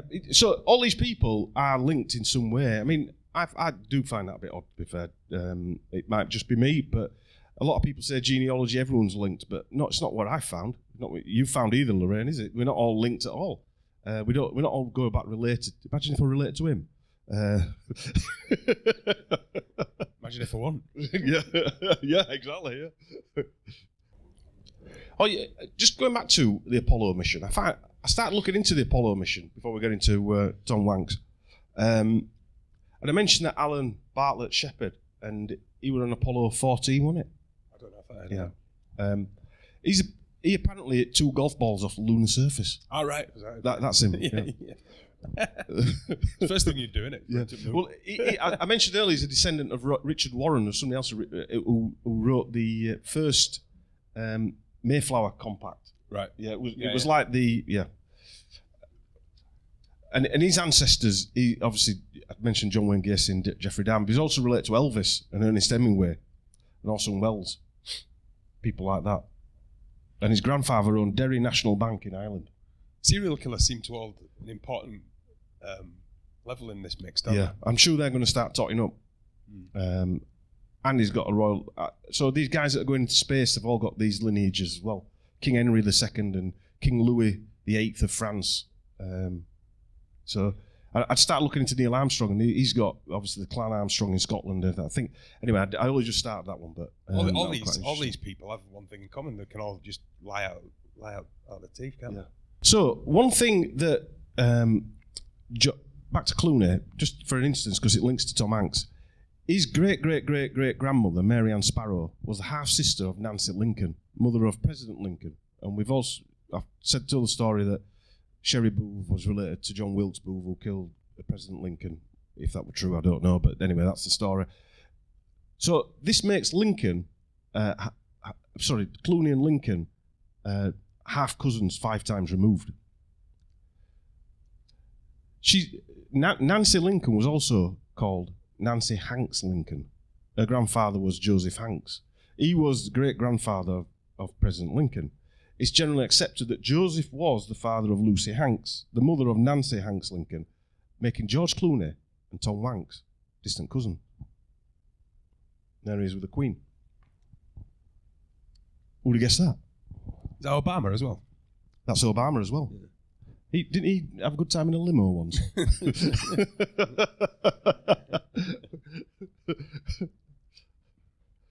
that were an interesting video, wasn't it? That that guy that stood up on that podium and told that story. Yeah. What was that about? Didn't get sued. Nothing happened to him. Yeah. Odd story. Didn't he say he was doing drugs and giving him Yeah, yeah. whatever? Yeah. He don't look like he could do that there, drinking that glass of champagne, does he? what, what, why, why is Tom Hanks there with the Queen and Obama? I don't know. He's just, he's just an actor. Acting. So I'll play this video. Have a bit of a break. Um, We could pause that fine. Look at his face. yeah. Yeah. Tom His Wanks. face yeah, Tom Wanks, yeah. He's in the vinegar stroke. yeah, yeah. Tom Wanks stars in the money shot. Look at this newsreader on this um, on this this clip that, that I'm showing. Look at the newsreader. You, you just don't see human beings that look like this. These American newsreaders. Um, rude. uh, Didn't get you one, did it? no, that's what I'm saying. Look at this newsreader. She looks like a thundercat. I remember we were sitting in the studio the day that the news broke that you and Rita had coronavirus. And I got to tell you, we sort of all had kind of a mini heart attack. It was scary for us because that was in the very beginning when we didn't know all the things about the coronavirus. How, in that moment, were you, were you and Rita, were you afraid? No, we were not because we were we were feeling extremely punky. I, I, I don't want to dismiss our our our, uh, our symptoms. We felt rotten. Uh, I had body aches, crippling, cracking body aches. But what was what we were mostly concerned with is was at the time is what is next. They, the Australian officials put us in uh, put us in the hospital, and they kept very strict attention on our fevers because if they had spiked, we were going to be in trouble. Our lungs because if they had filled up or scarred, we were going to be in trouble, and the levels of our oxygen. That was what they were doing for us, but what were they doing for other people was making sure we weren't passing it along to anybody else. We had the coronavirus, we were giving it away to anybody that uh, came within distance to us, and so we were uh, I can't. We we were in awfully good hands, right? And we were very much aware of that. We were maybe exploring some brand new territories about the, the personal as well as the public versions of Right. having COVID nineteen. whether or not we like it, we're all in this together. We're all affected by this. So let's, at the very least, there's a lot of stuff you can do uh, beyond that, but at the very least, three tiny things are is in everybody's wheelhouse if you choose to do them.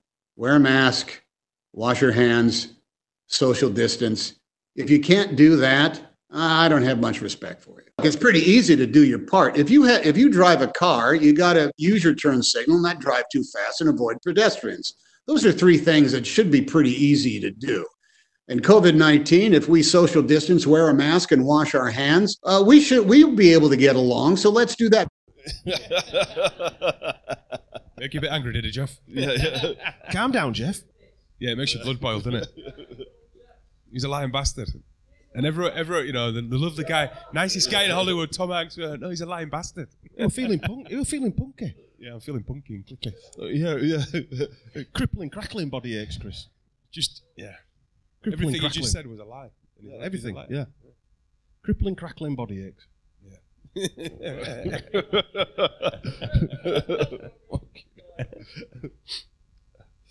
Jesus. What did we live through then? Yeah, majorly.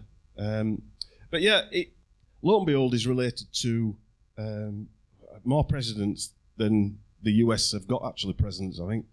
Uh, more than I've got time to go through anyway. Presidents Washington, Lincoln, Bush, both Bushes, etc. Um, actor Steve McQueen, loads of other actors. There was a Julie Garden, Garland, Liz, Liza Minnelli, David Crosby. Uh, David Crosby, or Crosby, 18th great grandparent was Robert King Robert III, um, one of the Stuart family, out Royal House of Stuart. That's David Crosby, the hippie, um, and he's related to Tom Hanks. Um, Hanks is related to J.P. Morgan, Rockefeller, in fact all the Rockefellers, and Anderson, Vanderbilt, Whitehead, CIA Cooper. Alfred Alfred, Alfred the Great, William the Conqueror, Henry VIII, QE one and two, and others. All the all the good ones, Charlemagne, you name it. Uh, yeah. So that it can't be an accident. I just don't believe it's an accident. I'm not saying it's all totally controlled and somebody's writing all these names down, but some something's happening somewhere because j- just in films. I mean, I know I've got this one up here, but the first one was Apollo 13. So that that Alan Shepard I mentioned earlier related to all them. He's related to Alan Shepard, that, and he played Apollo 13. He's also related to Wernher von Braun, who's also got a royal bloodline. I think back to Edward III and somebody else, and he's also related to another um, uh, th- three people involved in NASA. He's related to. It makes Apollo And he- 13. And he was selling the um, the space bullshit, wasn't it? Yes. was, uh, yeah. Hanks. Yeah. So uh, he did Philadelphia sold the AIDS uh, program, uh, Shaving Ryan's Privates. He's, he's done a lot of war films, hasn't he? Mm. Um, I think we went through his filmography, and everything's everything's a virtual signaling uh, system film. It seems I would say. But but a lot of his films uh, that I noticed, and it didn't happen to a lot of the other people. Uh, Shaving Ryan's Privates, Ted Danson were in it, Paul Giamatti, they're all cousins of his. Matt Damon is all cousin. Um, him, him and Spielberg do a lot of this film work together, don't they? Yeah. Just a bit. Yeah, but for even just Philadelphia, I mean, that terrified everybody, didn't it? The selling the AIDS thing. Um, does, it, does anyone know anyone who died of AIDS? Just out of interest, put your hand up if you do. No one. oh, sorry. Right. Yeah. No. Well, my my um my wife's friend's mother got diagnosed with HIV. She she never died of it. It's just curious that it was the biggest thing sold to us in the eighties. No one really seems to know anyone who who had it or died of it.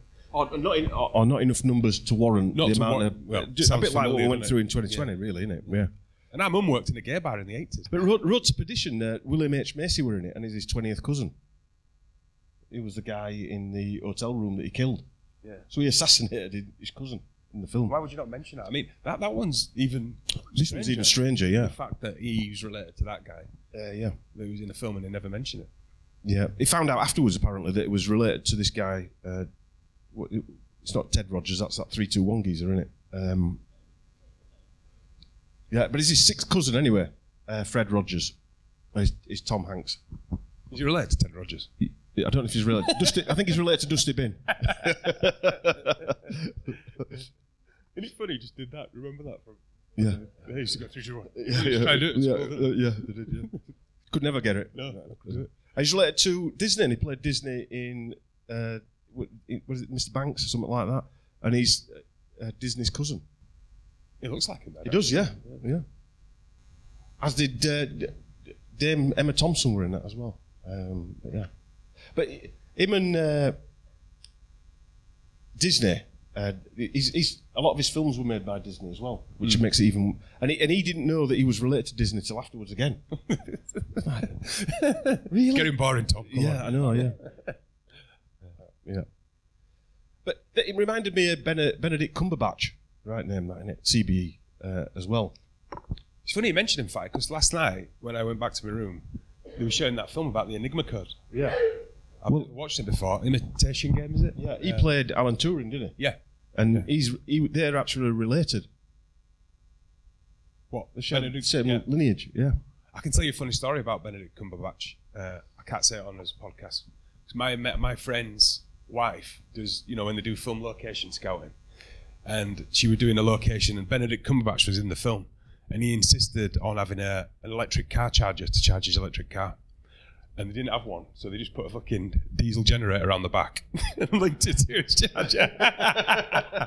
she told me that story. I said, "What were you saying? Like, what's that smell? No, it's that burger van." What a twat. But I watched, I watched a bit of that imitation game, quickly fighting, and it, they played him like this tortured, you know, trying to come with it. They were trying to go against him, and he had this theory to it. It, was- it was a crop, that crop reminds you of that. I've got to find it in time like Yeah, that. yeah. Uh, uh, They made that um, Dame, whatever she was Yeah, called. They made yeah. the Oh, AstraZeneca yeah. weapon We were- that were kills. dressing gown, drinking Yeah, coffee, yeah. all uh, bullshit. We'll get it. We'll get there at the end. Uh, anyway, he's, Benedict, Benedict Cumberbatch's also related to um, Tom Hanks as well. Funnily enough, but it's interesting that these people are playing people who they're actually related to. Um, Cumberbatch's dad was an English actor, uh, Timothy Carlton Cadogan uh, Cumberbatch. Right name. There's a lot of them called Cadogan round here. uh, and, and his granddad was Commander Henry Carlton Cumberbatch, uh, Marine uh, sub- submarine commander. And his great granddad was a diplomat at the Council of Romania, Turkey, and Lebanon. Goes around. Yeah. Started from nowhere. Uh, it, it's got a history of all his grandfathers being uh, diplomats. His great granddad was a diplomat, and his great great great granddad was a wealthy slave owner in Barbados. And it, it's interesting that not a lot of this stuff comes out in the, the press when they're talking about that Cumberbatch has got a royal Plantagenet bloodline himself and what have you. Um, yeah.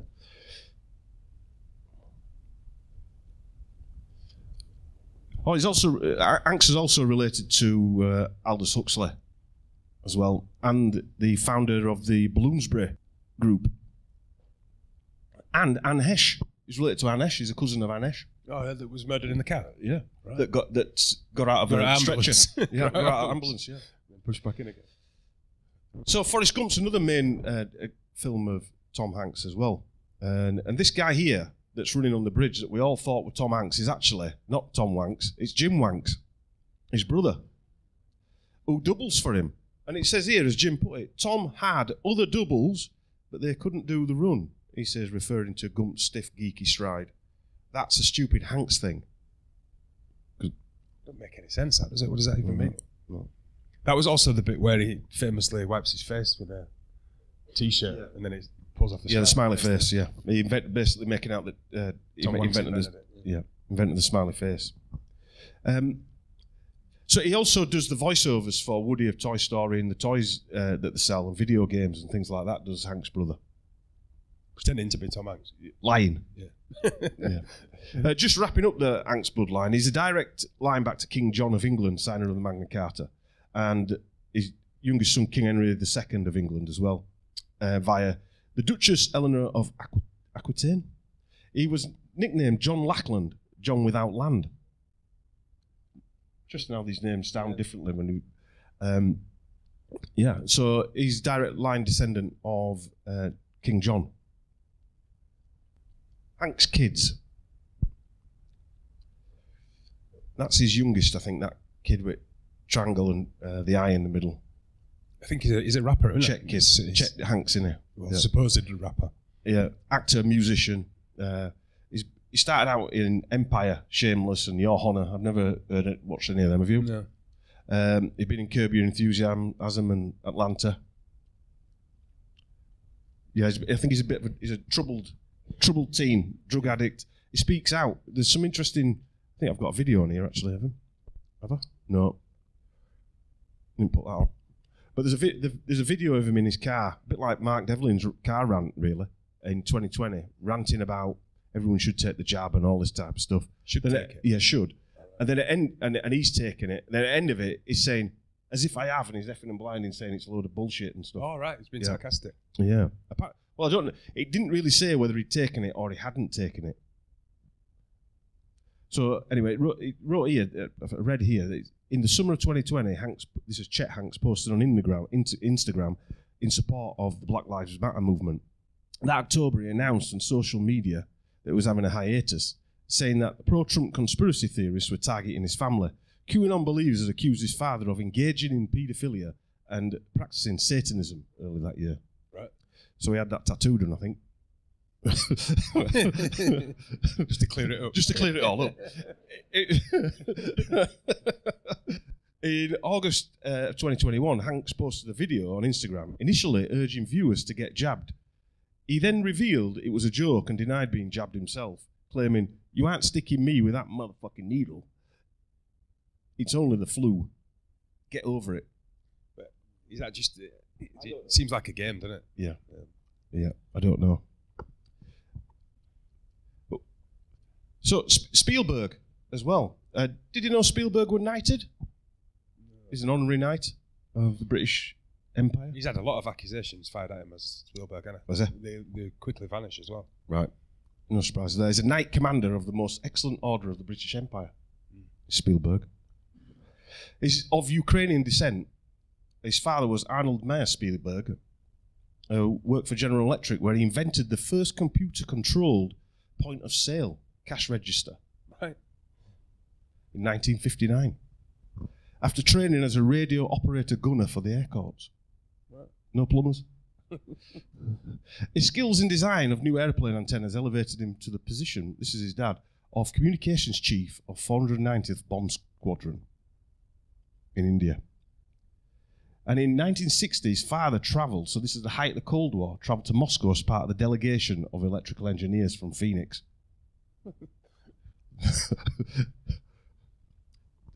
the trip coincided with an incident that became part of a subject of his son's 2015 film, Bridge of Spies. I've never seen it. It won, it won a lot of awards, I think, if I remember rightly. Right. Pushing another thing. Yeah. His sister Anne Spielberg, she's also a screenwriter and producer, best known for Tom Hanks's Big. Right. I didn't know that. No, neither did I.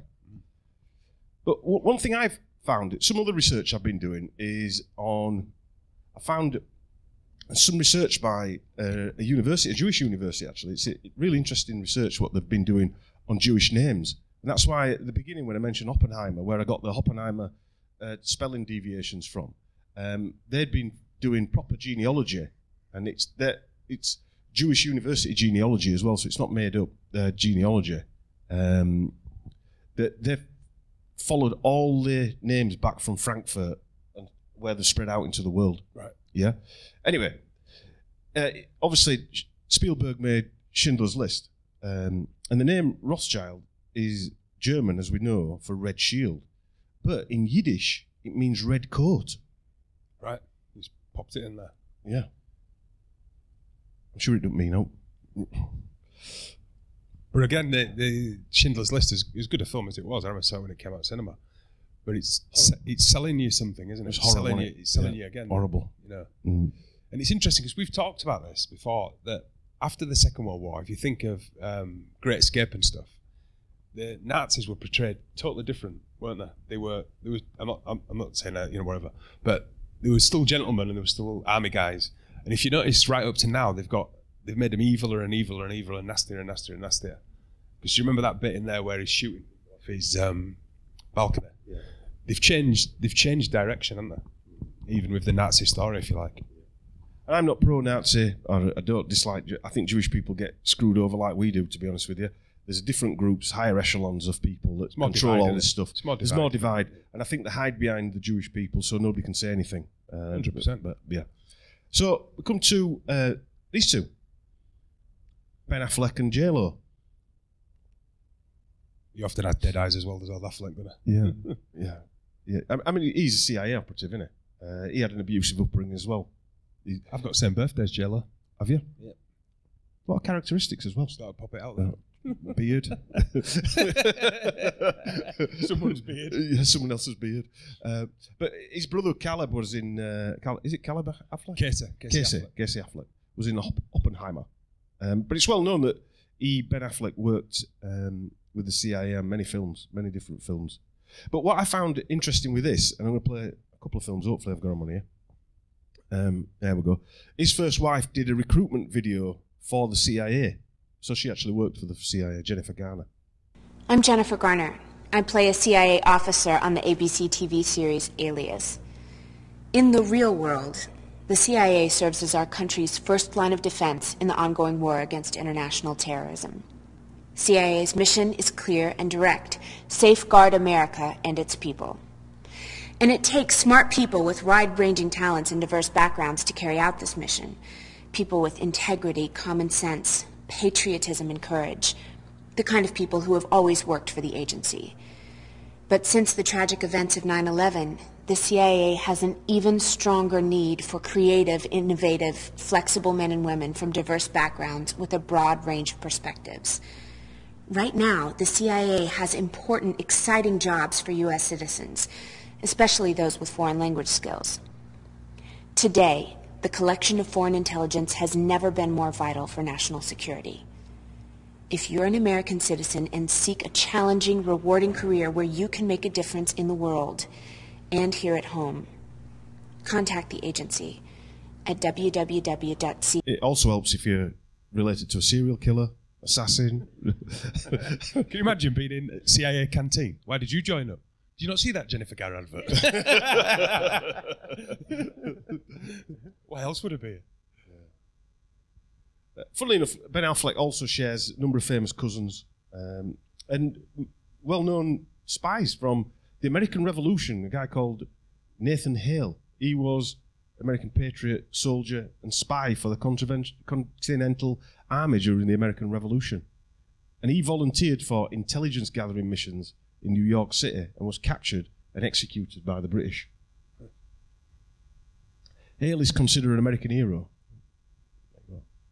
Other descendants include William Williams, an American founding father and signer of Declaration of Independence.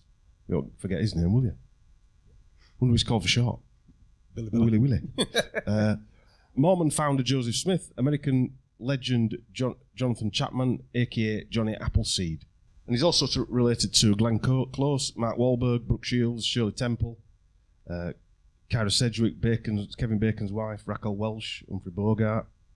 And he goes back to, his lineage goes back to Charlemagne and William the Conqueror. Now, the reason I'm talking about these two is because their JLo's daughter is now called M, and she's gender he or she gender neutral. And it so happens that Garner and Affleck's daughter now is called Finn. Um, so just listen to um, that's Jennifer Lopez's daughter, M, them pronouns. But you'd like that I. Yeah, I would actually. Any hair.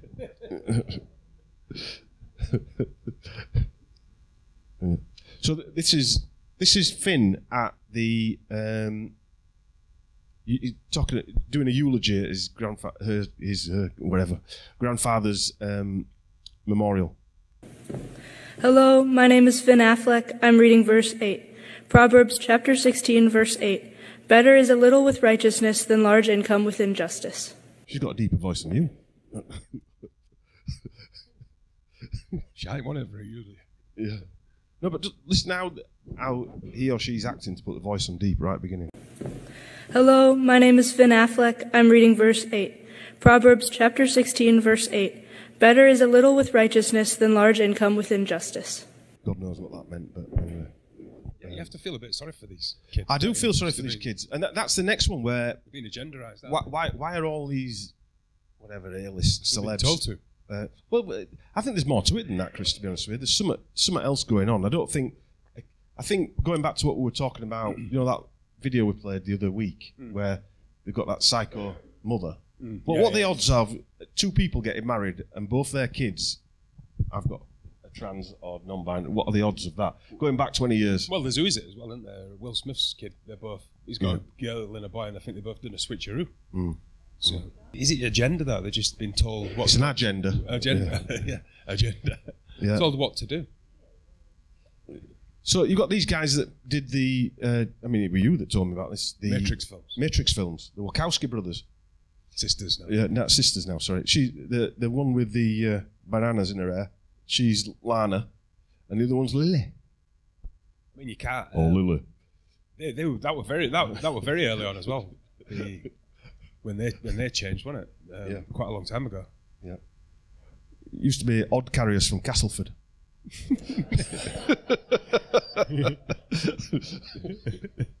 One of them definitely transformed better than the other. Let's put it that way. Which one? I don't know. Which one are you looking at? Two drinks.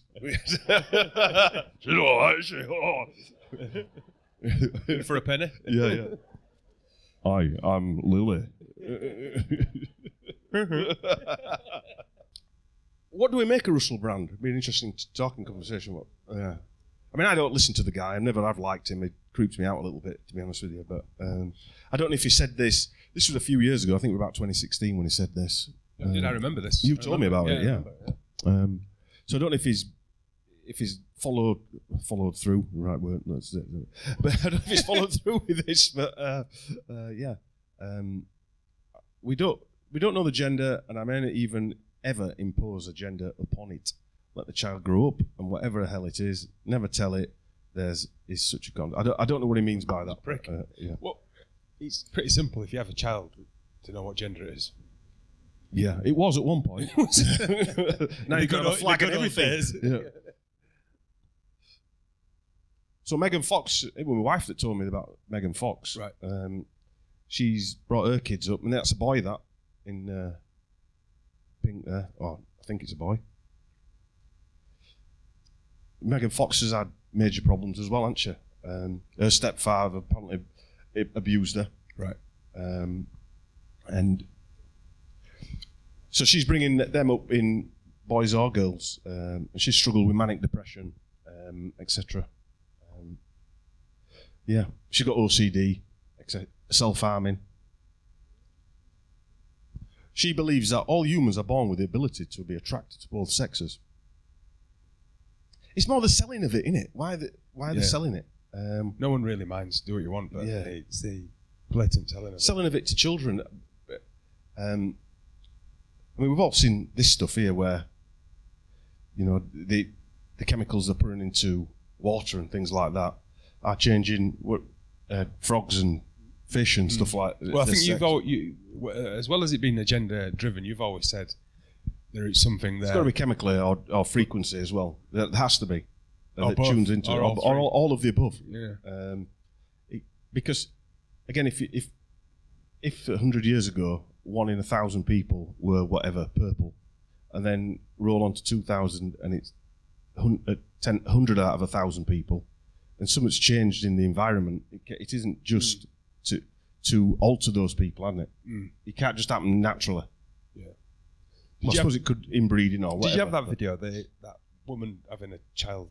I don't know if I brought it with me. No, Um, horrible. I don't know if anyone saw it on the sheep farm where the woman's trying to get a. I have got it actually, but it's on a, one of the Matrix videos. It's horrible. Yeah, Yeah. horrible. Where she's basically pinning that kid down and putting. Did you see it? It's awful, well, the, the, it? the doctor actually says uh, when you're 14, you'll be at the age where we can give you blockers. You'll be happy to know, or something like that. They pin the kid down and the Yeah. kid's screaming. So the the, the yeah. Mm. You see the mother's Horrible. face with a Joker grin. Yeah, it was on the Matrix video. Yeah, it's yeah. Dr. Olson had a decision. You are in the perfect place to start on blockers. And she promises to begin giving her estrogen, female hormones, in two years. Around 13. That's what I think. Yes, you're not going to develop breast buds on the blockers, but um, you're not going to wait until 16 to start. You know that, okay? Josie received the blockers as an implant in her arm. It's okay if you cry. So, with all the bravery she could muster, You're gonna feel a little bit of a. Josie held on tight Ow! as another chapter opened in this young girl's life. A lot of times it strikes me that had this happened just 20 years ago, Thank you. I wouldn't have been able to give her blockers and she would have had to go through male puberty. That terrifies me. It's all done. Do you want a hug? I don't know that she would have survived male puberty.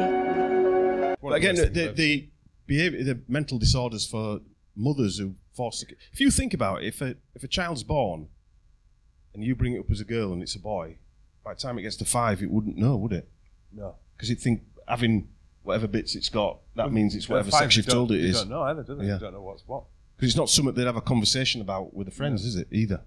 So, bring a boy up as a girl or a girl as a boy, they would automatically think that after a few years of that.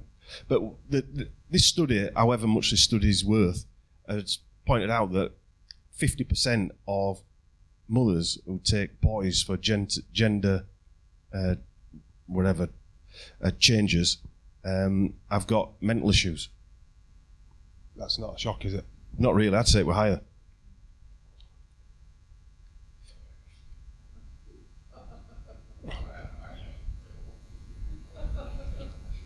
I knew he'd like that.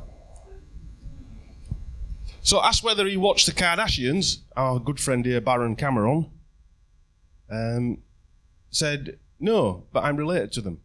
Uh, did you know I'm 13th cousins? He knew. He knew. He, was. He knew. He knew. Yeah. Thirteenth cousins. Um, is- she's also related. Oh.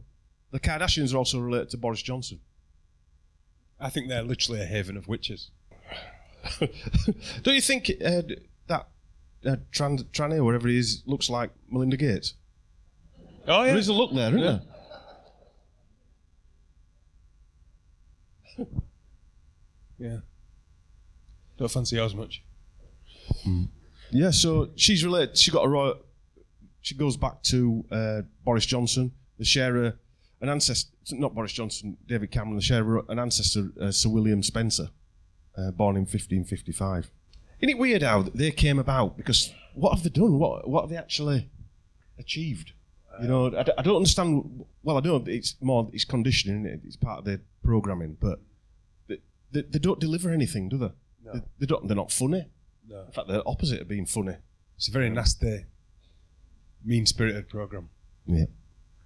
Yeah, it is. Well, not that. What have you watched it with your missus? You don't want to admit it, do you? I might have seen a bit of one once. I don't know. Not A bit of one. What series?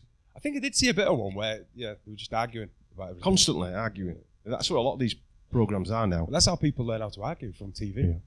But I mean, she she's related to uh, John, President uh, John Adams, John Quincy Adams, uh, Calvin Coolidge, both Bushes again, Canadian Prime Ministers, also in a family. Sir Robert Borden, Sir Charles Tupper. Uh, they also include Lucille Ball, Ted Danson, which Tom Hanks is related to. Yeah. Uh, yep. Ellen uh, DeGenerate, Johnny Carson, Carson, Bill Nye, you know that annoying science, science, Science guy, yeah. Yep. Selling the moon. Yeah. Henry and Jane Fonda. Um, her stepfather, uh, as we know, is the former Olympic decathlon gold medalist uh, Bruce Jenner. Is there with the lovely long brown auburn hair. Uh, came out in public as probably the most famous transgender person in the world when he announced he was now a she. Was that the beginning of it all? That was the real beginning, wasn't it? I would say around 2015 was the changing of it. Although Lennox Lewis's um, ex-manager promoter, Yeah, but what no- is he called? no one knows Cal- that. No, No one knew that story. Yeah, but he he were around that. I, do you know, I'm I'm thinking that because people's minds are being wiped, um, that they actually believed the thought they were a woman for this long. and I wouldn't know because I'm not going through that experience. but only on a Wednesday. Oh, Um, Who knows? but you, you- Yeah. because people are getting illnesses where their minds have been know, mm. forgetting things mm. and disorientated and what have you. Who knows? He might have been MK Ultra. Who knows? Might have been zapped in the head. Mm. But very strange. But why get to sixty? You, you can you can stay, you know. A dog can't stay. needs a, needs a dump.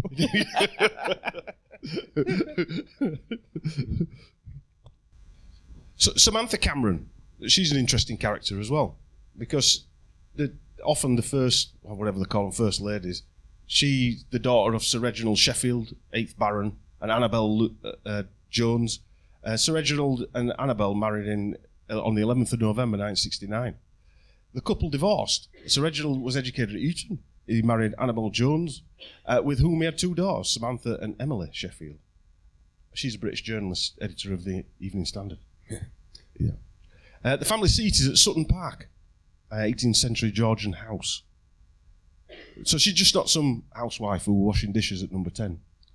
You did, you did just seem that they have uh, arranged marriages. These people. Yeah. I would say, wouldn't you? Yeah. Uh, them- At, Sutton Park, they received 350,000 for the wind turbines. They've got Indian version, they're called wind turbines. Ooh, that's crap, but got to get it out there sometimes, haven't you? Test it out. Um, but they are in the, the Sheffield, ba- Sheffield Baronetcy of Normanby in County Lincoln um, that was created for Charles Herbert Sheffield, the illegitimate son of John Sheffield, first Duke of Buckinghamshire, or Buckingham. So that's her family. And now they're married into the Astor family. Her mother remarried into the Astor family. So the Astor family, obviously, uh, we know about the Astors. They're one of Fitz Springmeier's. He was that's the first in the book, isn't it? The Astors are first in the book. Uh, the Bloodlines of the Illuminati by Fitz Springmeier. So there's Cameron's uh, bloodlines, and there's her. She goes back to King Charles II. That's all we have time for in this presentation.